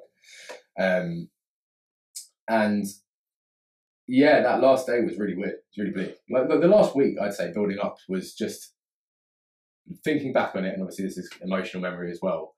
Everything felt very grey and very quiet and very Yeah. still. Um, and you know, for those of us more senior, I think you know we've been in the game a little bit longer than most of the staff. We're a bit more resilient to that stuff. All my bartenders, my bar backs, like a lot of them are in their early twenties, Yeah. not from England.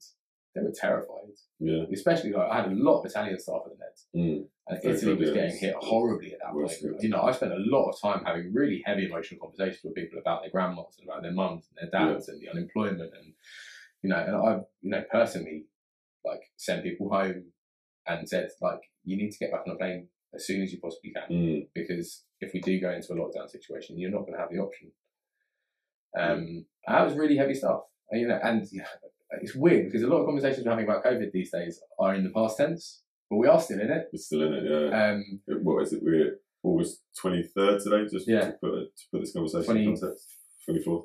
Yeah. Whatever, in Well August. um, and uh, yeah, it was it was just very very strange. So then uh, the following few days, obviously this is before the furlough scheme had been announced or Right. decided upon, and everyone was still getting paid for what they were getting paid for, Yeah. and there was, so Friday night, that was it. that was it. And then Saturday morning, just Can't home. be open. Yeah. So uh, we, a few of us went in. Yeah. Me and some of my bar managers and a handful of people because obviously you've got all that stock, all that produce, all those Fresh fridges. produce, yeah. Like every cellar needed to be cleaned out. So And at this at this point, what what are you thinking? Two weeks? Three weeks? now, like I'm, I'm a, I'm a, a, a not a pessimist. I'm, Yeah. I'm quite a cynical realist in a lot of ways. So for me, I was like, we need to be prepared to be closed for months. Right. That's simple. Great if we reopen earlier, Yeah. but be prepared to be for closed, closed for a very long time. What was the company line? Are they Pretty much the same. Yeah. Pretty much the same. It's like it's like you know. I think that when you're managing a place that has that much holding stock, Mm. for one, uh, that many staff and all the rest of it, you need to go into it thinking worst possible outcome. Yeah. Right. So you know, we went in, we cleared out all the cellars, we cleared out all the bars, we put every bar essentially got moved into a hotel room that got locked. Right. So all of the stock, all of the equipment, everything that you could take off the bar that wasn't the bar itself, Yeah. got put into a hotel room with like fully written down inventory. Yeah. That got left with the security team. Right. Door got locked. And this was just over the course of that Couple of days, yeah. Yeah. A couple of days. Um, and then it was right, go home and wait to hear what happens next.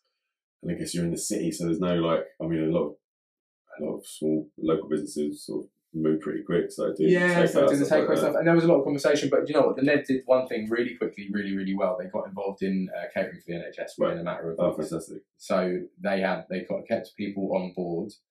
The kitchens were operating because obviously massive kitchens at the Ned, Yeah. and like the ability to create a hell of a lot of food. So everything- central, centralized kitchens where it's all just individual. the way the Ned operates, there's a couple of big kitchens and then a few smaller ones. Right. Um, so like Zobler's and Kaia um, have their own kitchens that are visible, open Yeah. kitchens. Malibu the same. Millie's and, and Nickel, which are two, the two big boys on the ground floor, they come out of one big kitchen. Yeah. They also serve lunch as a steakhouse. But and then there's like the downstairs prep kitchen, which is I mean, I'd love to show you that place one day. It's insane. If they ever let me back out. Yeah. Um, and uh, so they, they reacted really well. They brought a lot of team in. They were producing thousands of meal, meals a day for the Yeah. NHS, um, and that was you know that was a testament to, to Gareth Bannon, the managing director, and the whole of the executive committee. But they got on that quick. Yeah. and that's brilliant. It's amazing, and it kept some people employed for a little while as well. Um, but then the furlough scheme kicked in, and that was that was it. It's like right, stay at home. We'll do some Zoom meetings here and there. Yeah. We'll tell you what we know when we know it. Um, Real. so I got to be full time dad, which Yeah. is great. Um, Nice. You know, and I think you know I have to say that Ned did everything they could do throughout the whole process. They they communicated when they had something to communicate. Mhm. They made it very very clear that if you needed to talk to someone, you could. They Yeah. set up a, a relief scheme for people who were struggling financially. Yeah. Um, and uh, yeah, much respect to them. They, they, like for a company that big, where it's very easy not to look after your team, Yeah. which I think a lot of big firms are not very good at looking after people. Yeah. They did everything they could do. Anyway, I guess it was. I mean, what you sort of gave me a shout. I can't remember how long ago it was now. It was a month, six weeks ago, something like that. bit more. A bit more. Yeah. Saying you, you weren't sure what's going on, if you were going to go back or. Yeah. Um, there hadn't been any sort of serious re- Oh no! So that oh, if, if you're talking about then, that would have been yeah two two plus months ago because the redundancy process when it kicked off took seven weeks until Right. until decision. So we got uh, it's funny. Yeah. So what? So one Friday afternoon, I think afternoon, I got an email to my personal email account Yeah. saying uh, you're invited to a Zoom meeting on Monday morning at nine thirty. You don't need to prepare anything. And I looked at it and I turned to my Mrs. Erica and I said, "Going to be made redundant." Mm. She said, "No, you don't know that." And I said, "Look, I know the game. I know the industry. I know how much money the Ned needs to make to keep people on board. Yeah. And I know that if when it comes to reopening, whenever that might happen, you need bartenders, chefs, waiters, and cleaners. Mm. Everyone else is, you know, not that important. As much as I like to think of myself as a really important human being, you don't need someone developing cocktail menus and doing training sessions. You need people to get food and drink to people, and that's about it. I, I remember you we were chatting around this time, and I, I think I, I don't know whether I said to maybe what, what was the possibility of taking a pay cut or taking a, Yeah. So this is demotion or something. For, for, so the redundancy process like for anyone out there who's had to go through this is uh, it's long it's drawn out and if you're doing it for over 20 people there is a full process of consultancy that has to happen. So um, everyone that was nominated within the food and beverage team had to choose one person to speak for us in consultancy sessions. Right. so we would speak to them individually. They would take their questions and suggestions. Um, but you know for me personally i didn't want to step down because me stepping down would mean somebody else would need to step down. Like I'm not gonna. There was no role for bar manager open, and I'm not gonna do that. You know, and you know there was there was some junior people in the the redundancy list who were like, oh, why can't you just fire all the waiters? And I was sitting there in these like group chats when we were having Zoom calls and saying like, that's a horrendous thing to say. Like you're a slightly more experienced person, you're in a managerial position, which means that you probably find it easier to find another job when the job market comes back online. A lot of the waiters and bartenders are young people who've just moved to England. Like, do you really think it's fair? And also, from a more practical perspective, someone on hourly pay doesn't have to get paid as far as business is concerned. Like they, you, you can give them less hours and it's, it's a controlled variable cost. Um, so there was conversation. There was like, are you, are you willing to take a, a lateral move? Are there any lateral moves available? No. Cool. You know, lots of the Ned really tried to make it as fair as possible. But I said to my, my, my, my missus and my closer friends from the second that it happened, I was like, me and these two or three people who were the most senior people on the list of potential redundancies, I was like, we're gone.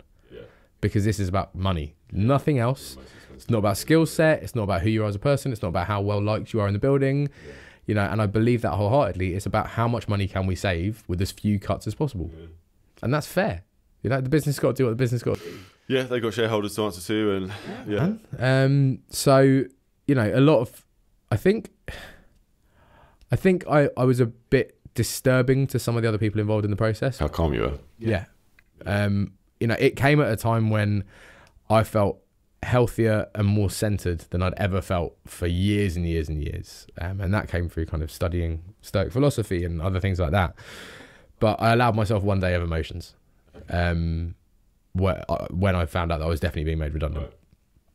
Um, which I knew was coming, and I had this I had a Zoom call with the the head of HR who's since left herself, uh, and she cried. She was like, "I'm really sorry. uh, You've got four kids." And then and I was sitting there, I was like, "It's okay. Like this is it. Just is what it is." Um, and I'm sure people out there these days will say, "Well, you know, you're speaking from a point of privilege and blah blah blah." And it's like, well, whatever, really. Like, it, it me being upset doesn't improve the situation. Me stressing out is not going to make my missus and kids feel very safe. Um, It's going to make the next step much harder. a lot harder. much harder, you know. And and I, you know, I, I don't know if I'm supposed to should do this, but I will I will say to anyone who's facing an issue like that, there's a book called The Obstacle Is the Way by Ryan Holiday, which we'll put in the show notes, which helped me inordinately deal with this. And uh, you know, I just I spent a lot of time talking to myself about like it's not the end of the world. Mm. If I need to become a bartender again to make some money, I'll be- a bartender again. If I mm. need to go and clean like houses, I'll clean houses. Like I'll, I'll find a way to bring money into the house to make, to keep my kids safe and alive. I might not be in this really like awesome best bar job in the world type position, but I got two years in. That's good work. Okay. Well, I mean, that's it's admirable that you've you've handled it that way, and it is it's, ob- it is obvious. I did give myself one emotional day where I basically lay in bed and cried. yeah, exactly. All right. Well, let's let's talk about how. Let's leave you for a minute and how let's, you're going to move on. We'll, talk, we'll go, we'll come back to that, but let's talk about what's so what, how how the industry's dealing with it, and I guess we're sort of both looking in uh, from the outside now uh, to a certain degree. But let's have a chat about. I mean, have you been out? So yeah, I, well, this is this is what I think is really interesting. So there's a lot of doom and gloom, right? And I think both of us, I'm I'm now almost essentially off social media, but both of us, our social medias are blocked up with people in the bar and bar and food world, and there is an insane amount of doom and gloom, and it's understandable because people are losing their jobs and they're scared for their livelihoods, and not everyone has been able to kind of embrace a stoic attitude or look at things objectively or realize that this has happened before and humanity survived. Yeah. Like if you look at the Spanish flu, it was way worse. Um, but uh, like I think that there are some real genuine silver linings out there. Like Cool. so, I live up in North London in a, in a in a quite nice leafy neighbourhood. You live in in the deepest of souths in a quite nice leafy neighbourhood, and we're surrounded by little pockets and villages. You live in the ghetto. He wants to live in the ghetto, um, and uh, if you go to more neighbourhood areas, seem to be doing all right to me. Yeah. Um, I mean, obviously, places like the Ned, which is uh, rely on people going to work, going to offices, Yeah. they're screwed. And I, and I- and I think kind of having to face up to that, I feel, I, I genuinely feel for them because there's not much you can do if there's no one around. No, there is very little you can do. But you know, now is the time for these smaller, independent local businesses to shine. I was saying to you, there's a, a bar up the road called Drink at Bob's. Shout out Drink at Bob's, um, Hither Green Lane. They are having record-breaking sales because they're. I think first of all they're they they can have a lot more seating outside, so a lot of those restrictions have been lifted. They haven't had to put in 10 notices and stuff like that. They're just allowed to put some chairs out. and and I, this is a theory of mine. I've not fact checked it at all, but Get the lawyers down, Tom. yeah, but but you know, you got people aren't going to work, Nope. or don't, people aren't leaving the house at half six to get to work, Nope. so they don't have to go to bed at half nine, so they can go out for dinner and drinks on a Tuesday night locally. They want to. yeah. That's a really big so thing. that so that we're so there's not that big busy Friday Saturday night anymore. It's just kind of steady, steadily f- at capacity, uh, although re- be it reduced capacity, but seven nights a week. arguably we're shifting into a more European way of eating and drinking. Like I think you know, and I think this is really important. And I want to see more of the food and drinks press talking about this stuff because it's it's no joke. Like people aren't going back to work for a long time. We know this. Like the, a lot of the offices have said we're not returning until either early 2021 Yeah. or even mid 2021. And even those that are returning are talking about massively downsizing the amount of in-office time people Yeah. will spend, which means that People get to be at home, right? Yeah. So it means that this last few months, where everyone's been based in their area and only being allowed to walk kind of 20 meters in any one direction and has got to know their area a bit better, they've reassessed their priorities. They want to spend more time doing more wholesome things. Yeah. A lot of them have found their health. Yeah. This isn't to say My missus got a been six pack in lockdown. Fucking ridiculous. Oh, dude, I lost nearly three stone. Yeah. Um, uh, 16 kilograms for all the non-stone users out there. Um, Pounds, doing pounds. It's in pounds, yeah. Um, that isn't to say, and we should definitely disclaimer like there's been a lot of heartache and a lot of loss, and mental Yeah. health has suffered for a lot of people, and you know, like they're not going to dumb that down. But I personally am someone who believes that we should always try and focus on the positive and what's good because we all have to keep on living, right? Yeah, absolutely. Um, Let's talk about the negative for a mo- for. A let's talk about the I mean, listen, there's, uh, you know, we we touched on it before, but there's some. I guess the big one for us is Milk and Honey in London is sad times. closing its doors on the 25th, 26th of September. Um, sad times. Jonathan Downey, the owner, has been s- championing championing in industry. th- uh, yeah as a whole. Really started this. Um, Never one to stay quiet, Mr. Downey. no, and he you know he's been campaigning for landlords to reduce rents or freeze rents. Um, Time out. yeah. Uh, I don't think many people have had much luck. No. Um, And the government, uh, you know, arguably has not done very well at putting pressure onto landlords. No. For whatever reason that might be, Boris. Then where does the where does the buck stop? Yeah. I mean, don't get me wrong. I, I, you know, my heart's with hospitality. I want Yeah. the hospitality to to thrive and survive, and it breaks my heart that Milk and Honey's not going to be with us for for much longer. Um, but yeah, where does who who take who takes the hit? Is it the Yeah. government? Is it the landlords? Is it the banks? Yeah. Argument should be that should be the banks. They got bailed out not that long ago. Yeah, yeah, they got given a fair bit of cash, didn't they? and now maybe it's their time to step up and help the economy out. But you know, I think you've made a, bit, a little bit of a list of other other places Well, I mean, the ones that kind of stuck out when I was looking around were you know, milk and honey obviously is is a bit of a headline for you and me because we both have an emotional attachment to it as a Yeah. bar and the respect that we've got for it. But Yeah. When you look at kind of bigger numbers, you've got Pret a Manger have closed over 30 of their 410 sites. The casual dining company, which is Cafe Rouge and Bella Italia, have closed 91 out of 250 sites. Eat, which you know anyone who's worked in the city has definitely been to Eat. Yeah. They've closed all of them, 90 sites. Boom. Um, Starbucks up to 400 in the UK alone. Now, I don't think either of us are here sitting here saying, "Oh, those poor shareholders." That's a lot of people who've lost their jobs, man. It's people that are not working. And and you know, argu- And producers, like, yeah, you know, suppliers. dairy farmers and, Yeah. you know, coffee Yeah, pickers. the beer milkers. Yeah. Um, yeah, yeah. It's it's it's it's it's a massive impact. Um, I, I- this is the thing, you know. I'm I am not an economist, so I don't really under I don't I don't really know how to look forward into what does that mean going going on to what's next. Um, How do you, what do you feel personally? What do you, I mean, you know, I went to a pub the other day, had a great time. We Mm. ordered drinks off an app. They Yeah. came really quickly. I mean, I I really hate the whole QR code thing, but that's just because. For me, hospitality is about hospitality, and, and a lot of what's going on with social distancing, which is vital, Yeah. removes hospitality from hospitality, which is Yeah. which is a struggle. But so, so I live in North London, and I walked down to Shoreditch. Yeah. Uh, it's like an hour and a half walk in total, and every little boozer on a side alley that wasn't part of the city Right. was doing great. Yeah. Like all the little cafes were doing great. Yeah. Like there was people in them.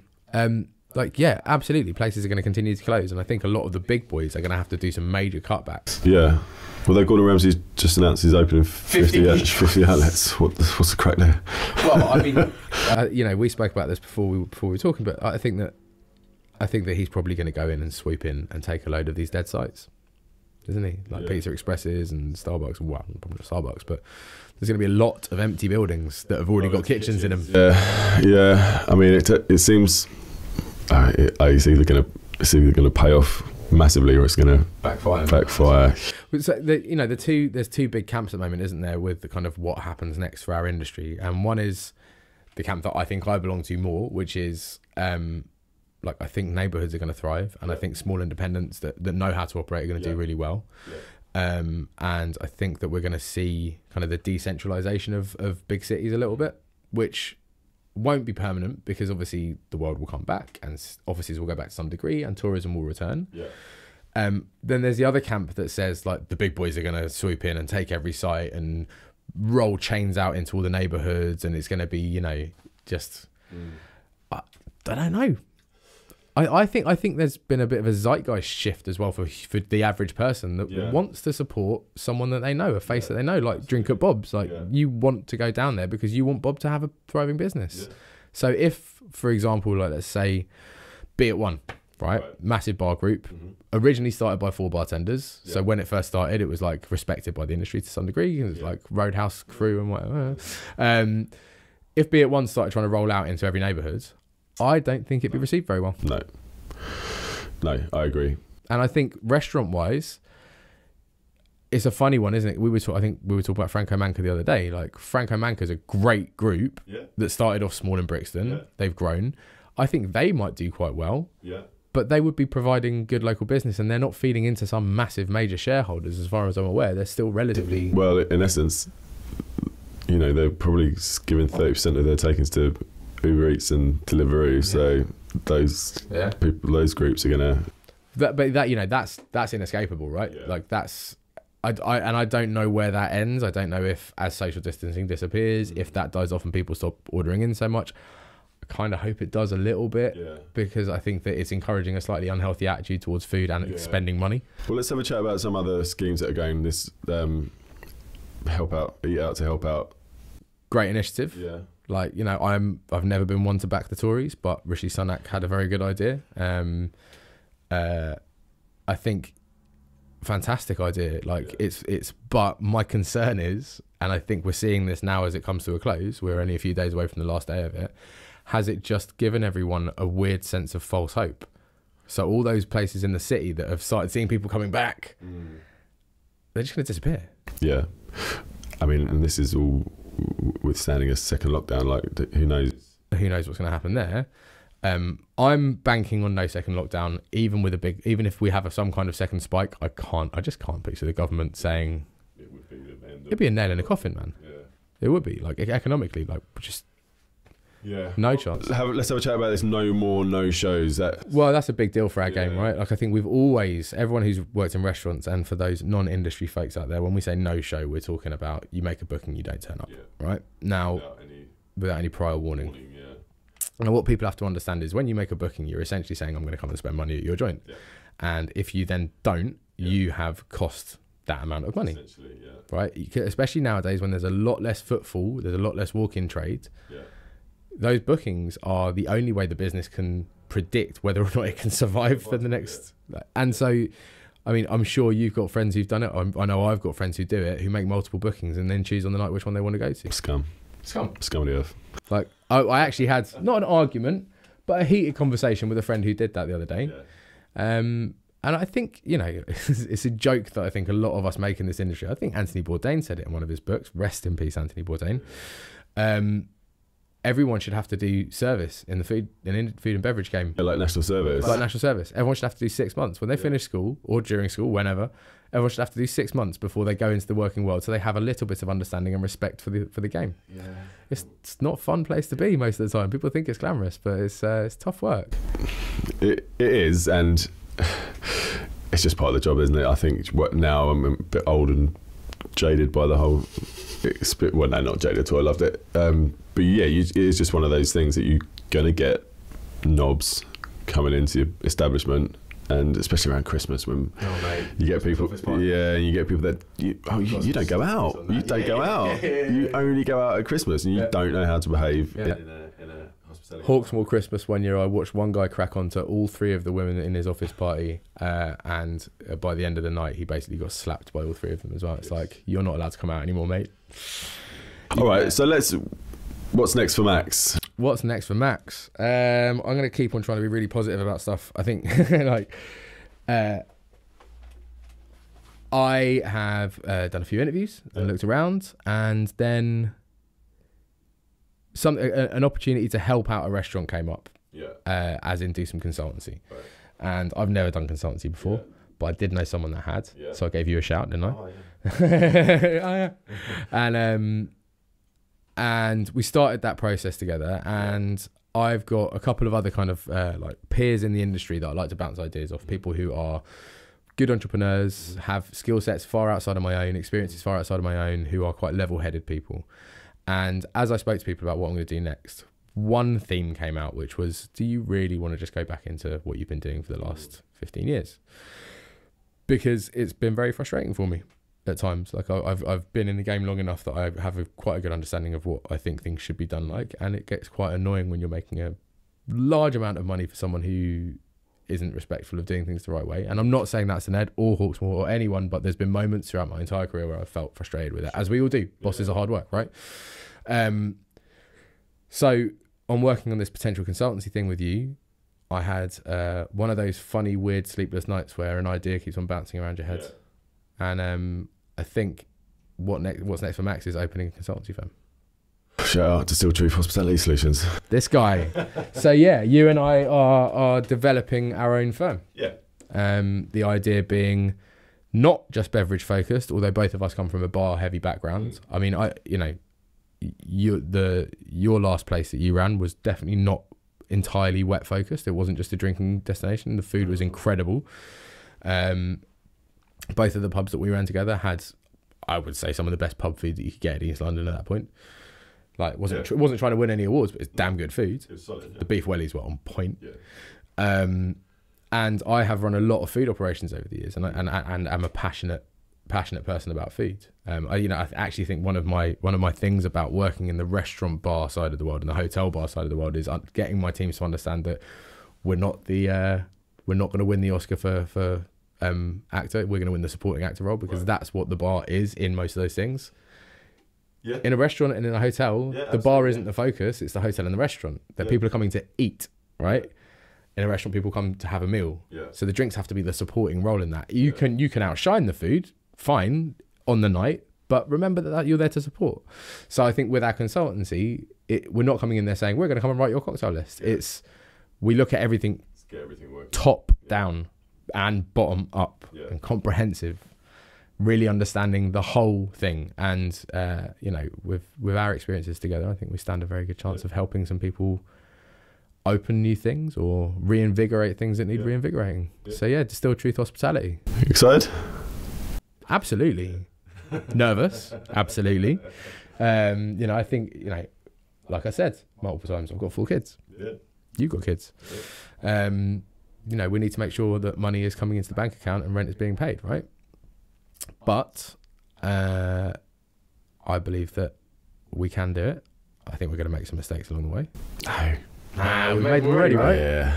No. That's, got, the, like, that's, nearly- the, that's the first first rule is uh, don't yeah don't think you know it. Yeah, and, and, you know, I think you know, to anyone who's out there listening who's looking for consultants, we will definitely not make mistakes on your job, but we'll try our best. not to. Hopefully, I've made enough of mine to uh, Yeah. not make any. But no, I'm, I'm really excited. I think I think the future looks incredibly bright um, if you choose for it to be. There is one quote that I wanted to talk about as well.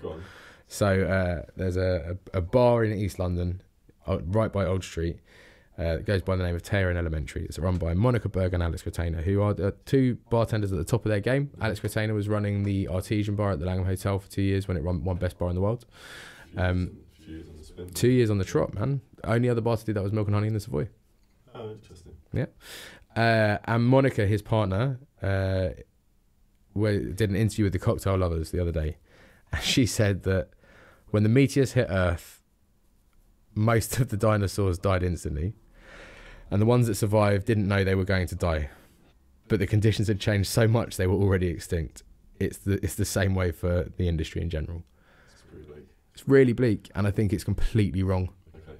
Um, and I think that, you know, if if I don't I don't know Monica personally, I know Alex, but if I were to bump into her, I'd tell her that she needs to retract that and realize that. have her own opinion. Yeah, but if, when you sit in a position where people listen to you, Yeah.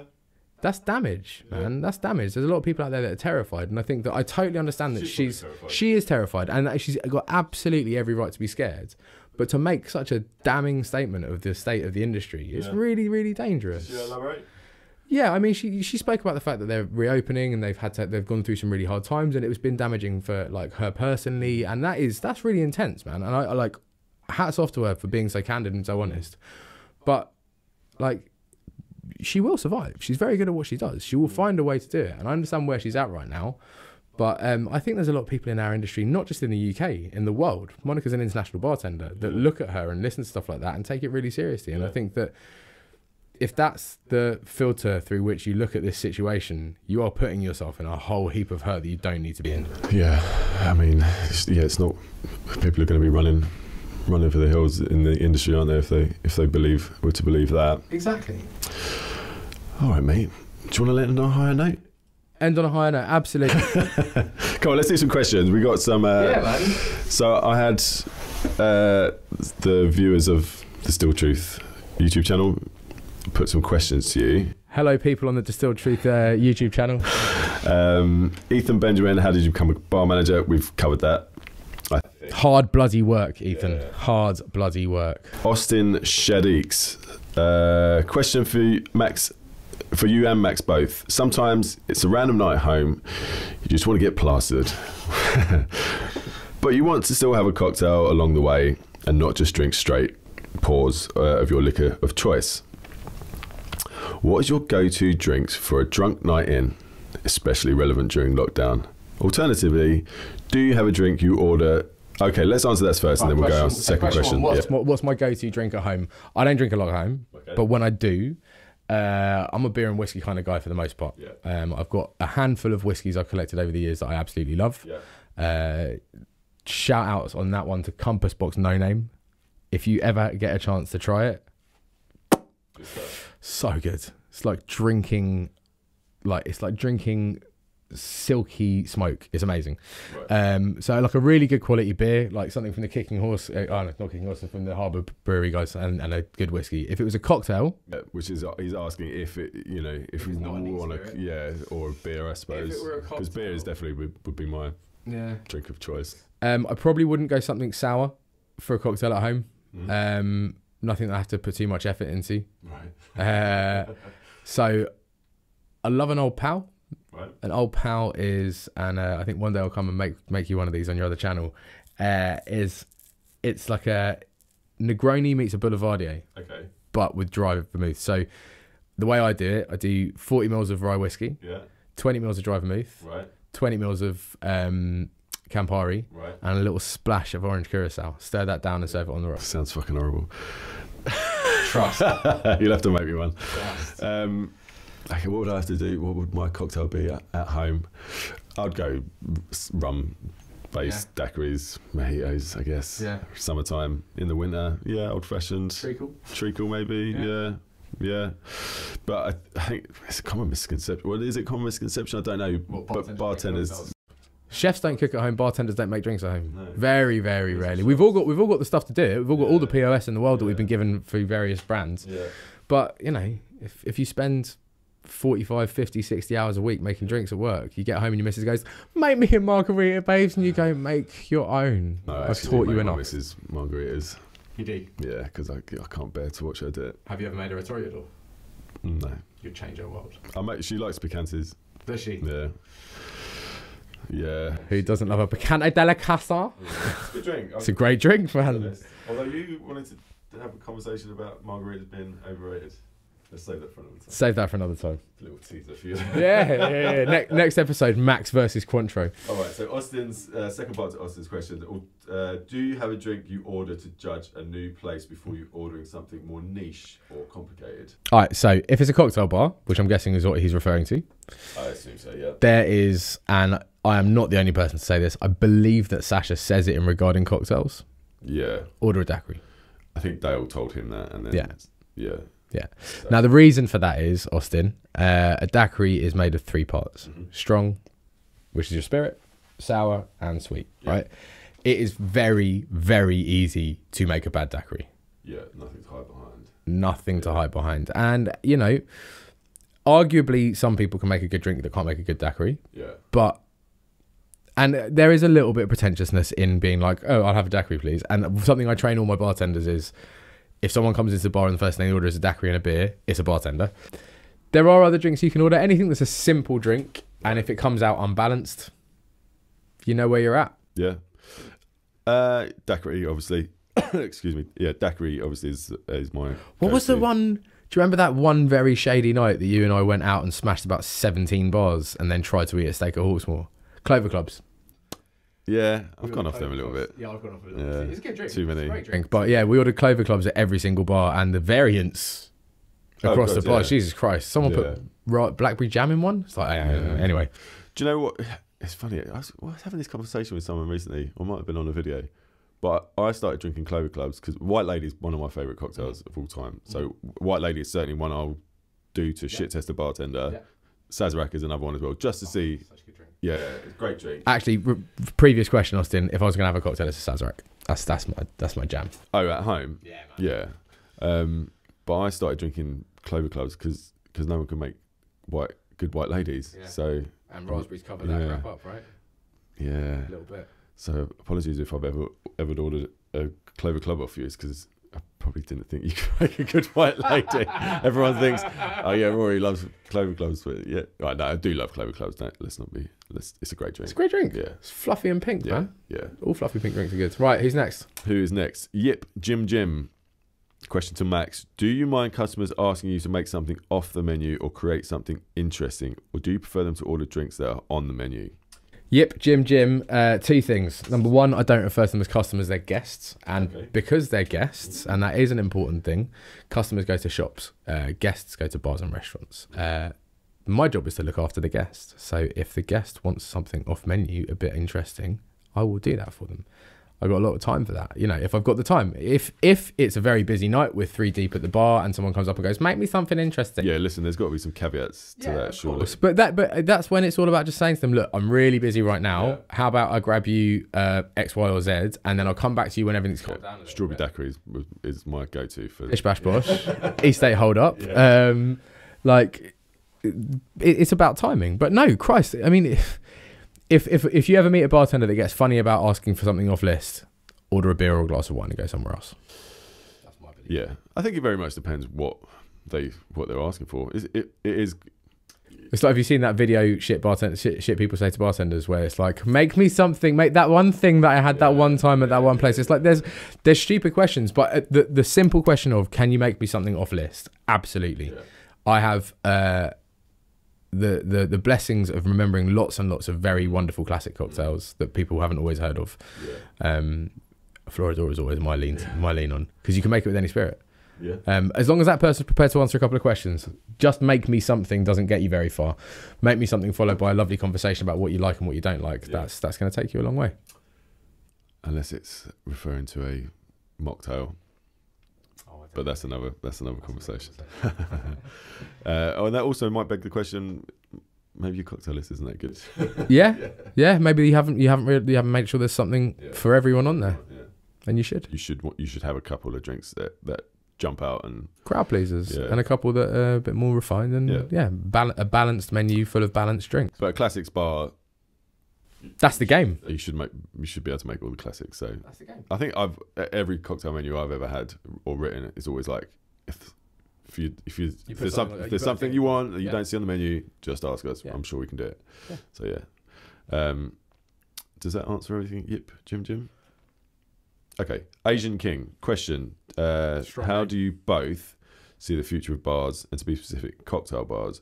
I'm not sure if this is referring to current pandemic situation or if it's just in in general. So that's he's got a few questions there. So that's the first part. Let's answer that.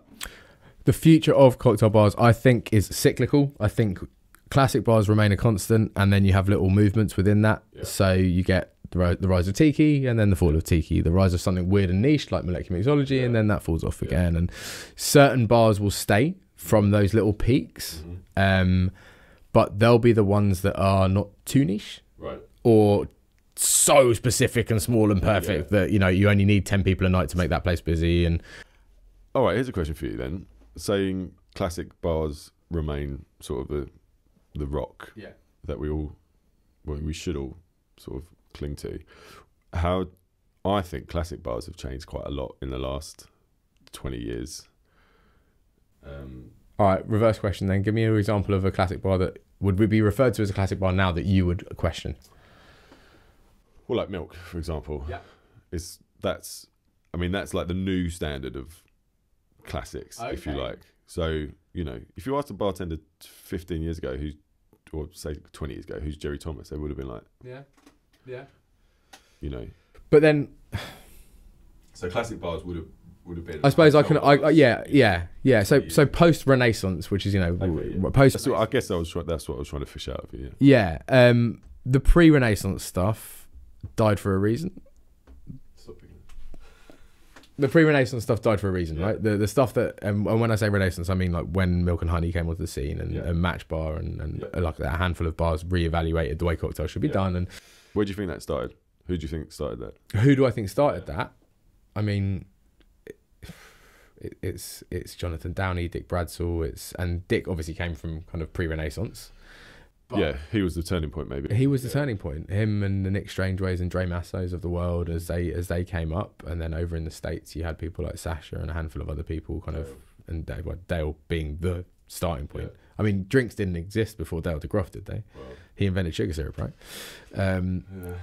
Angus Winchester reckons he invented tiki, but that's another that's another subject. shout out to Angus. yeah. Um, Martell Cordon Bleu and a double espresso at Match Bar every couple of weeks. Oh, really? Yep.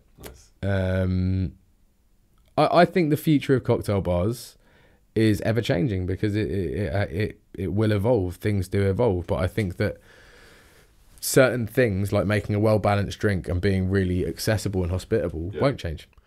you talk a lot about local at the moment. I, I think that's the future of all bars and all restaurants. I think I think hopefully I hope more than think that neighborhoods get the investment they deserve because people aren't going back to work or Yeah. not going back to work as much and people don't want don't feel the need to go into the city that Yeah. there might be some areas that kind of have a bit more of a, a pull for more people coming across but Yeah. you know I, I'm I'm a I'm a funny one though because you know I don't really play the social media game and I don't like I've I've fallen out of love with the hype of world's 50 best bars and stuff like Right. that. I think for me it's just about focus on what you do, do it well, and if you can captivate a great local audience, that's what you should want. Yeah. Everything else should be irrelevant. So okay, let's approach this from a different angle. Then, what do you think of the public's opinion of cocktails? Is that as the consumer become more educated? Have they? I believe so. I mean, with things like wonderful YouTube cocktail tutorials out there, there's one that I can think of. Shout out to Bonneville. Um, There's a few big boys now that we There uh, are, that we, um, we've, we've got to chase. I, I, I, I think they are. I don't know how it translates into them going to bars. You know, we always used to have back in the day the kind of the barfly set who would come in and order really kind of. I'll have a Puritan, please, or a tuxedo number two, and and you know that's they'll always exist. yeah. The average person who likes watching cocktail videos online does that translate into the way they drink when they're out and about? I think it might do. I think we might have more of a kind of sympathetic relationship with the guests like that because they come in and they have a bit more respect for the craft of the trade and they're a bit more interested in it. What does that mean economically? I really don't know. It's really hard to tell. Um, although arguably that some people might say that the more people know how to make cocktails at home the less inclined they are to go and spend 12 pounds on a drink when they're out and about. True. Yeah, that is true. Once people get wise to what goes in. um, yeah, can't get away with those 80% markups anymore. not so much Okay, Agent King's second part to his question: How do you evaluate a bar? I guess we've kind of touched on that a little bit. yeah but well that was the that was the ability to make a drink yeah. Okay. Fair enough. um I- service man like it's all about service in Yeah. terms of that initial evaluation have they got the lighting right like Yeah. have they got the the aesthetic right do i re- do i feel relaxed when i walk in you know because there's a lot of bars out there that are very very successful that i don't relax when i when i walk into Right. um and that might just be a personal thing Yeah. like, like you know i feel out of place or whatever but i want to go somewhere where i feel incredibly welcome Mhm. where the staff are there to look after me Mhm. uh, that feels well managed and like the staff are happy Yeah. and you know you can tell that quite quickly i think you can tell if the staff want to be there and if they don't want to be there and if Yeah. the staff don't want to be there then i don't really want to spend my money there Fair enough. And they better make me a good drink too decent pizza wouldn't hurt Okay, so the last part to this question, which you've already answered, what cocktail would you guys order to see the quality of a bar? Daiquiri. Yeah. miami vice obviously All right, thanks to those guys for those questions. I've got a couple. Um, if you could run one bar or own any bar in the world, which would it be? um jesus right i'm going to take the original milk and honey out of it or Attaboy as it's known now Okay. it's because it's too easy an answer No, not necessarily. No, I mean that. Yeah, that is it's pinnacle stuff, man. Like they they got it so right. Um, uh, yeah, I love it there. I really liked uh, Dante in New York as well. Um, relaxed, casual, like just drinks are on point. Very like relatively simple. There's a couple of slightly more interesting things that Naren did there. Um, yeah, man, the original milk. Okay. All right, same question, but for any bar in history. Ooh. Ooh.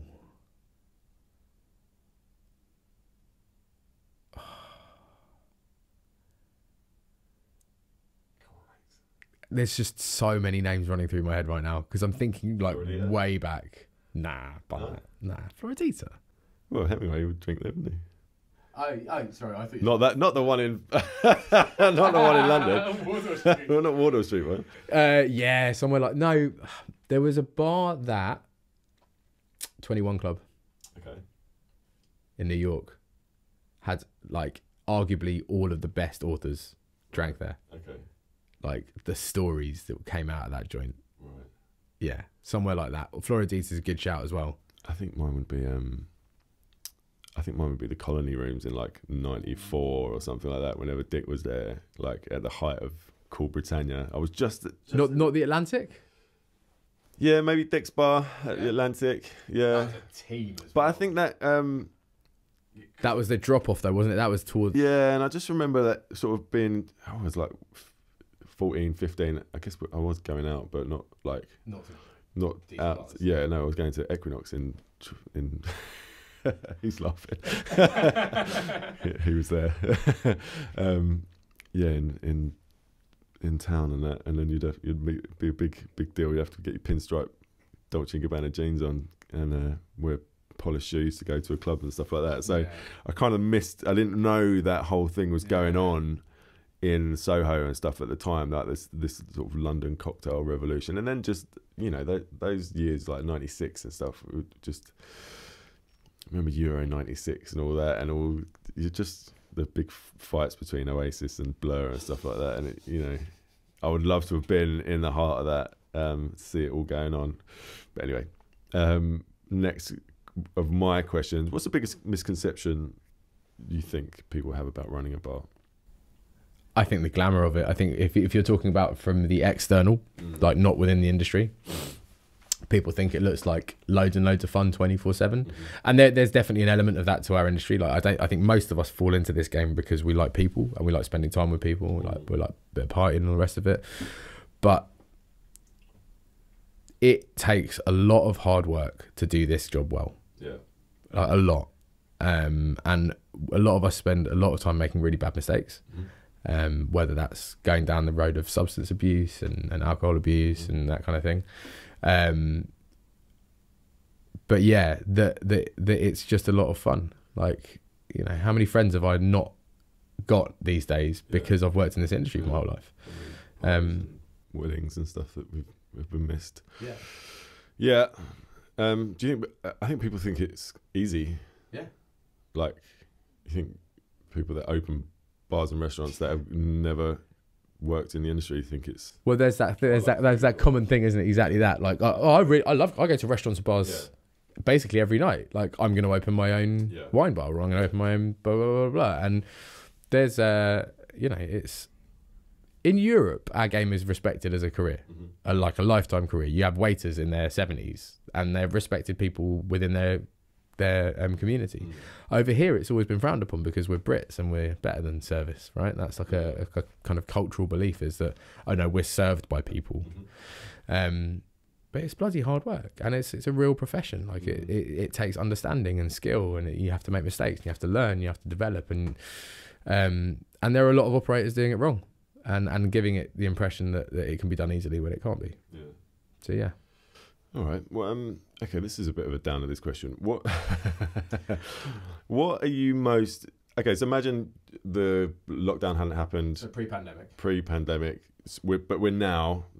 Forget all that happened. What? What would? you- What would you? What are you missing about doing? What would you? Where would you like to be now? What are you disappointed that you're not going to get the chance to do at the Ned or with your career? Like, hopefully, there's Right, Ned specific, Ned specific, uh, and I said this in kind of my um my message, the one social media message I've put out. Um, I feel like there's loads of stuff that I didn't get to do there. Mm. Um, I think that my expectation of of what I could get done was maybe a bit mismatched with the reality of the Right. situation, but you've got that perspective now. yeah, I've got yeah being from being step back. But at the same time, I feel like there's a lot of stuff that I didn't do that I could have done in terms of developing the quality of the team and helping um, embolden people with their careers. So a big part of my career up until the Ned was like one-on-one tutoring and mentorship and looking after people on a like not not looking after but helping people with their Yeah. career. And it's quite hard to do when you've got 200 people answering into you. Um, so yeah, I feel like I missed out opportunities to, to grow some some people who I believe have got a lot of potential, but need support getting that potential to come to fruition. Um, in general, like what what regrets do I have of what I what I can't do now? Yeah. I I don't know. It's a hard question to answer because I think that depending on what decisions I make over the next few months and what opportunities come up, like I think you've you've you know you've taken it all within your stride, haven't you? And it's looking onto what's coming up next rather than what could have been. I just I, I don't believe in regrets anymore, man. I, I think I think that you should learn from your past and you should always be very respectful of the mistakes you've made and the and always have moments in your life when you reflect. Mm. But as the ancient Stoics would say, like what's happened has happened and it's happened for a reason. It's led you to the point you're at now. If you can't learn from that, then the fuck you playing that. I, I added that bit. They didn't need to say that. I think that's a fantastic place to leave it, Max. Thank you so much. That was really good. We'll definitely do this again. Definitely. Anything else you want to add before we wrap it up? Uh, like and subscribe. My job. Don't forget to like, subscribe, and share. See you next time.